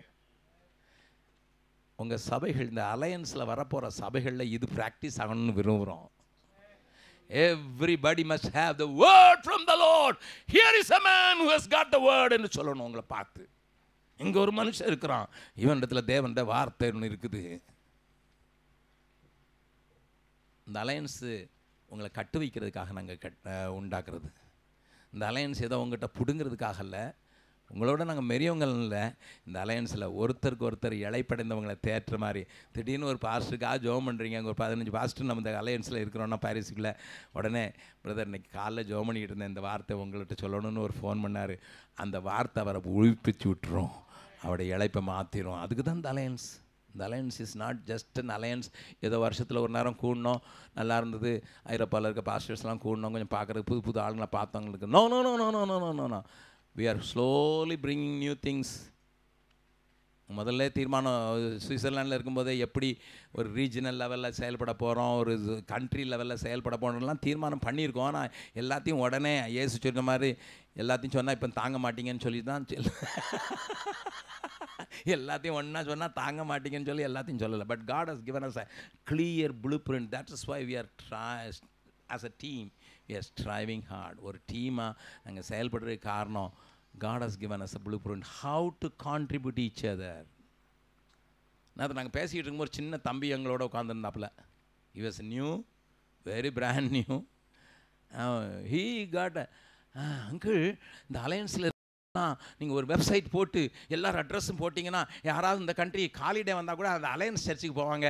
அவங்க பில்டப் ஆயிடுவாங்க இந்த பாஸ்ட் போய் அங்கே பிரசங்கம் பண்ண முடியும். அந்த past that is what we are already having it இதெல்லாம் உள்ளே இருக்குது. ஆனால் கொஞ்சம் கொஞ்சமாக so we need to contribute each other அது என்னாலும் செய்ய முடியும். இட்ஸ் நாட் எப்போமாவது ஒரு ஸ்பெஷல் ப்ரீச்சரை நீங்கள் கூப்பிட்டு நல்ல வெயிட்டான காணிக்க கொடுத்தா தான் போவேன்னு சொல்லாதீங்க. Every day you can have a call within Europe this is the word I have for you brother காலையில் எந்திரிச்சு ஆண்டவர் என்னைக்கு எழுப்பி உங்களுக்கு சொல்ல சொன்னார்னு சொல்கிறேன் ஒரு வார்த்தை சொல்லிட்டீங்கன்னா எங்கேயோ இருக்கிற எனக்கு எங்கேயோ என்னை அறிஞ்சிருக்கிற ஒரு சகோதரன் ஒரு வார்த்தை சொல்கிறாருன்னு சொல்கிறது உங்களை தூக்கி விட்டுரும். அப்போ ஆண்டவர் என் மேலே எவ்வளோ கரசனையாக இருக்காருன்னா ஆண்டவர் துதிக்க வைக்கும். மை காட் ரிமெம்பர்ஸ் மீ தேவன் என்ன நினைவு கொண்டு அதனால தான் அவரை எழுப்பி அவர் மூலம் எனக்கு ஒரு வார்த்தையை சொல்கிறாருன்னா அது என்னை உயிர்ப்பிக்கும். Don't we need an alliance தனியாக நிற்க போகிறோமா எனக்கு தான் எல்லா ரெவலேஷன் இருக்குது I rise everything for me I don't get a revelation for me every day no I get revelation for people but I don't get revelation for me I need somebody to say word ஏசு சொல்றாரு நீர் எனக்கு கொடுத்த வார்த்தை. இருபத்தி ரெண்டாவது வசனத்தை வாசிக்கலாம். நாம் ஒன்றாயிருக்கிறது போல அவர்களும் ஒன்றாயிருக்கும்படி ம், நீர் எனக்கு தந்த மகிமையை நான் அவர்களுக்கு கொடுத்தேன். Ye have given me glory. எனக்கு மகிமை கொடுத்துருக்கீரு எதுக்கு கொடுத்துருக்கீரு எதுக்கு எனக்கு மகிமை கொடுத்துருக்கீரு அவர்களுக்கு கொடுக்க. சொல்லுங்க அந்த வசந்த மறுபடியும் வாசிங்க சிஸ்டர் நீர் எனக்கு தந்த மகிமையை. நான் அவர்களுக்கு கொடுத்தேன். பக்கத்தில் கேளுங்க. எது வேணாலும் கொடுப்பீங்க. உங்களுக்கு இருக்கிற மகிமையை கொஞ்சம் கொடுப்பேன்னா கொடுக்க முடியுமா? Very difficult thing in the Christian circle very difficult thing என் மகிமையை நம்ம உடனே ஆண்டோடைய வசனம் சொல்லுவோம் என் மகிமை வேறு ஒருவனுக்கும் கொடையன். அது வசனத்தில் தான் இருக்குது என் மகிமை வேறு ஒருத்தரும் கூட ஆண்டு நீர் எனக்கு மகிமை தந்தீங்க ஆண்டவரை. You glorify and I want to share it with you share இவர்களுக்கு யார் கொடுத்தாரு? யார் கொடுத்தேன் யாருக்கு? ஒருத்தன் அறியேன் என்று சொல்லப் போகிறான். ஒருவன் காட்டி கொடுக்க போகிறான் ஒருவன் துண்டை காணும் துணியை காணும் என்று ஓட போகிறான். இவர்களுக்கு கொடுத்தேன். I am willing to give to anyone because you have given you have given the people and I have got that's also given by me I will share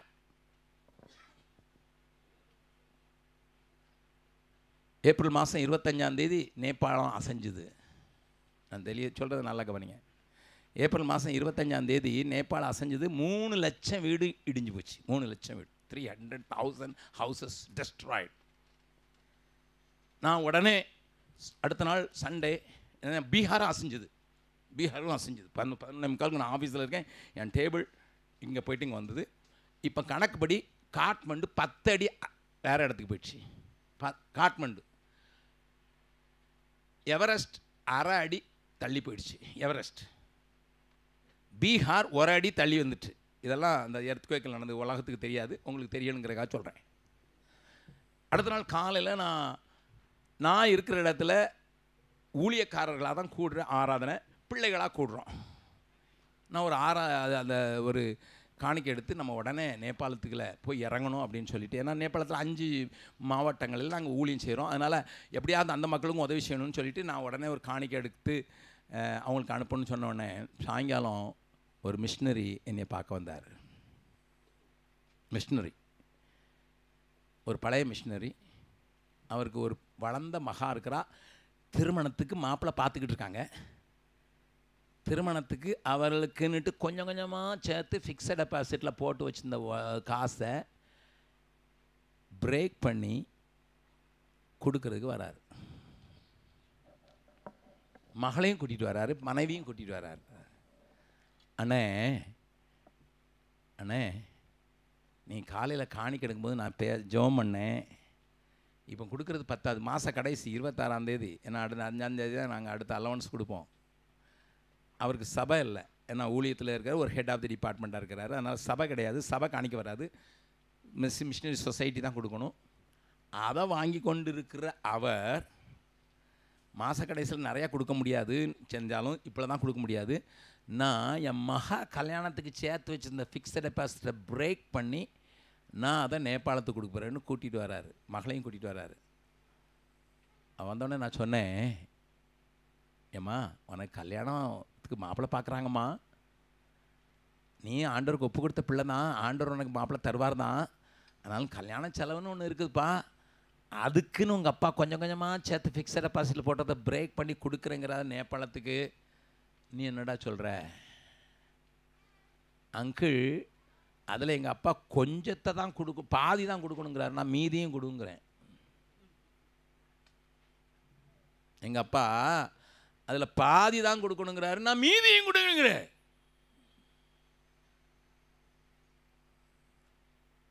எனக்கு மகிமை கிடச்சிதுன்னா நான் பகிர்ந்து கொடுப்பேன். நல்லா கவனிங்க. அநேக நேரங்களில் நம்ம ரொம்ப தியாகிகள் மாதிரி நினச்சிக்கிடுறோம். But I will tell you stories Las வேகஸ்ன்ட்டு ஒரு ஊருக்கு போயிருந்தேன் இப்போ.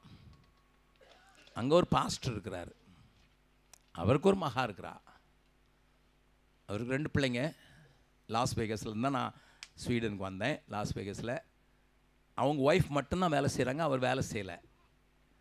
அவர் பாஸ்டர் பாஸ்டர்னால் பெரிய பாஸ்டர்லாம் இல்லை. சின்ன அங்கே லாஸ் வேகஸில் இருக்கிறதே தமிழ் சபைகள் தமிழ் சபைகள் இல்லை. அவங்க ஒரு சபையோடு ஒட்டியிருக்காங்க. மாதத்தில் ஒரு தடவை. அதனால் அவர் பாஸ்டர்னு சொல்ல முடியாது. ஆனால் பிரசங்கம் பண்ணுவார். அவர் என்னை தான் வீட்டுக்கு ஏர்போர்ட்டுக்கு போகிற வழியில் எங்கள் வீட்டுக்கு வந்துட்டு போங்கன்னாரு. நான் வீட்டுக்கு போனேன். எதுக்கு போகிறேன்னு கூப்பிட்டு போகிறேன்ல அங்கே அவள் மகா டென்த் ஸ்டாண்டர்ட் படிக்கிறா. பத்தாவது படிக்கிறா. வந்து அங்கிள் அங்கிள் அங்கிள் அங்கிள் நீங்கள் ஒரு செய்தியில் சுமித்ரான்னு ஒரு பொண்ணு வேசிகளுக்கு வேசிக்கு பிறந்த ஒரு பெண்ணை வளர்க்குறேன்னு சொன்னீங்கல்ல? நான் சொன்னேன் அவள் இப்போ சிவில் இன்ஜினியர் சிவில் டிராஃப்ட்ஸ்மேன் ஆக போகிறாமா அப்படின்னு சொன்னேன். அந்த பிள்ளைக்காக நான் ஜெபம் பண்ணேன் எனக்கு எலக்குவேஷனில் முழு ஸ்டேட்டில் லாஸ் வேகஸ் ஸ்டேட்லையே எனக்கு முதல் ப்ரைஸ் கிடச்சிச்சு. எலக்குவேஷனில் ரோட்டரி கிளப் நடத்துனாங்க. எனக்கு ஐயாயிரம் டாலர் கொடுத்தாங்க. நான் ரெண்டாயிரத்தி ஐநூறு அந்த பிள்ளைக்கு கொடுக்குறேன் அங்கிள் முகத்தை பார்க்கல. எந்த பிள்ளைன்னு தெரியாது. ஏதோ ஒரு செய்தியில் நான் சொல்லியிருக்கேன். வேசி அந்த அவள் சொன்னதை நான் சொன்னேன். அவள் என் வீட்டுக்கு போய் சொல்லுவேன். பாவம் செய்யாதீங்கன்னு சொல்லுவேன். அந்த க சம்பவத்தை சொல்லியிருக்கேன். அதை கேட்டேன் அங்கிள் அதனால நான் இதில் பாதிக்கு தந்துறேன்னு two thousand five hundred dollars has given me எனக்கு நீங்கள் மகிமை தந்தீங்க. அவள் சொன்னா ஐ அன்வர்தி அங்கிள் என்னோட பெரிய பெரிய காலேஜ் ஸ்டூடெண்ட்லாம் வந்திருந்தாங்க. ப்ளஸ் டூ படிக்கிறவங்களாம் வந்திருந்தாங்க. நான் டென்த் ஸ்டாண்டர்ட் தான் படிக்கிறேன். நான் இந்தியன் பிள்ளை. மற்றவங்களாம் அமெரிக்கன் அவங்களாம் சின்ன வயசுலேருந்து நான் இடையில தான் எங்கள் அப்பா இங்கே கொண்டு வந்தாங்க ஆனாலும் என்ன கத்தர் உயர்த்தினார் அங்கிள் எனக்கு அவர் தந்தார். எனக்கு க்ளோரி ஐ எம் ஷேரிங்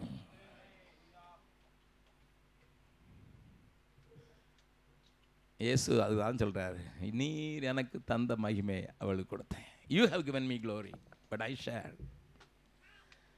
இந்த அலையன்ஸினுடைய ஒரு பெரிய நோக்கம் என்ன தெரியுமா?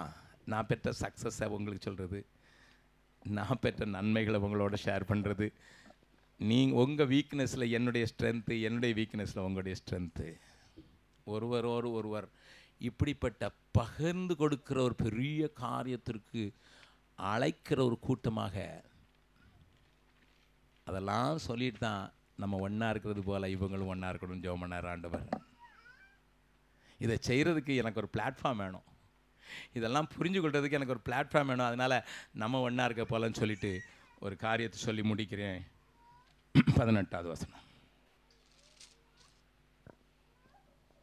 நீர் என்னை உலகத்தில் அனுப்பினது போல நானும் அவர்களை உலகத்தில் அனுப்புகிறேன். இது மெசேஜ்னு ஒரு டிரான்ஸ்லேஷன் இருக்குது அதில் படித்து பார்த்தீங்கன்னா ரொம்ப நல்லா இருக்கு. மெசேஜ்னு ஒரு டிரான்ஸ்லேஷன் இருக்குது. எப்படி கிங் ஜேம்ஸ் வேர்ஷன் என்ஐவின்னு இருக்கோ அதே மாதிரி மெசேஜ்னு ஒரு டிரான்ஸ்லேஷன் இருக்குது அதில் படிச்சிங்கன்னா ஆண்டு சொன்னதாக you have given me a mission you have given me a mission நீங்கள் எனக்கு ஒரு பெரிய மிஷன் தந்தீங்க.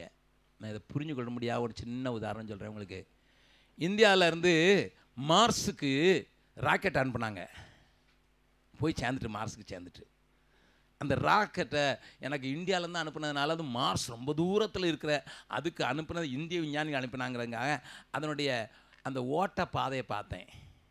கொஞ்சம் கொஞ்சம் சயின்ஸ் மூளை கொஞ்சம் இன்ஜினியரிங் மூளை இருக்கனால இந்த மாதிரிலாம் பார்க்குறது வழக்கம்.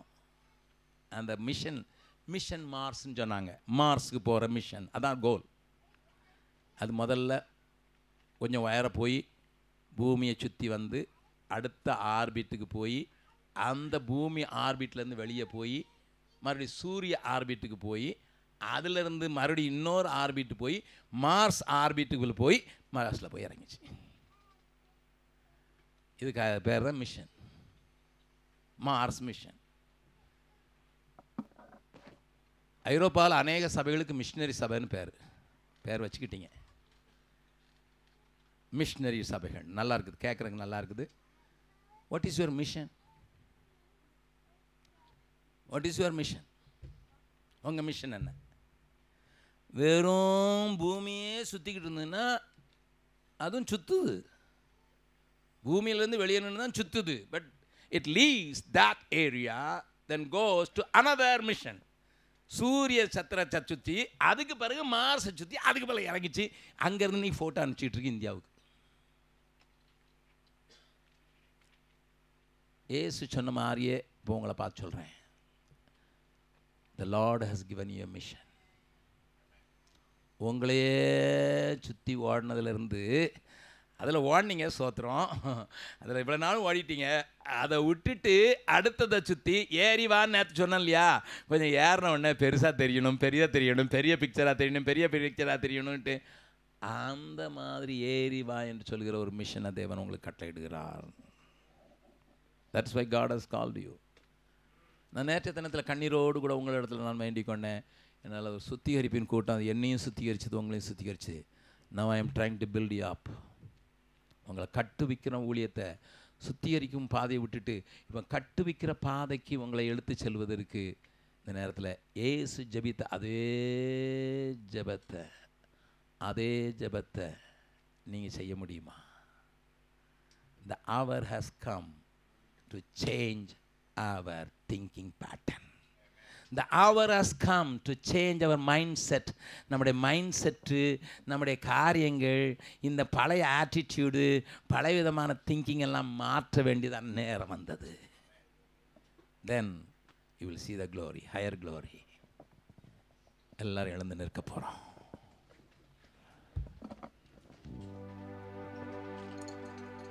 எல்லாரும் எழுந்து நிற்க போகிறோம் மறுபடியும் சொல்ல போகிறேன் நன்மை ஒன்றும் இல்லாதிருந்தும். பின்னையும் நீங்கள் நேசிச்சிங்க வரேன் you have given me people you given me things you you have given me glory you have given me word you have எனக்கு அதிகாரம் தந்தீங்க. எனக்கு ஒரு கிரியை நடப்பிக்கிறதுக்கு கிரியை தந்தீங்க. எனக்கு ஆட்களை தந்தீங்க அதை முடிக்கிறதுக்கு அதை செய்கிறதுக்கு சாதனங்களை தந்தீங்க. ஒரு நாள் நடக்கிறதுக்கு வார்த்தையை தந்தீங்க.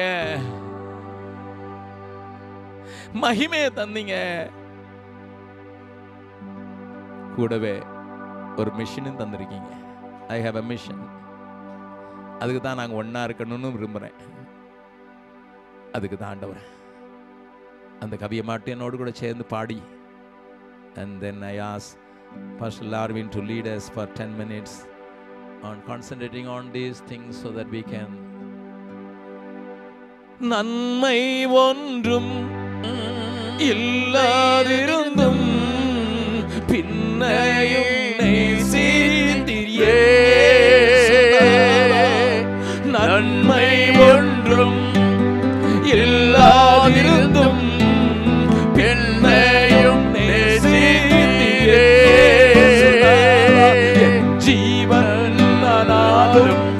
Oh, oh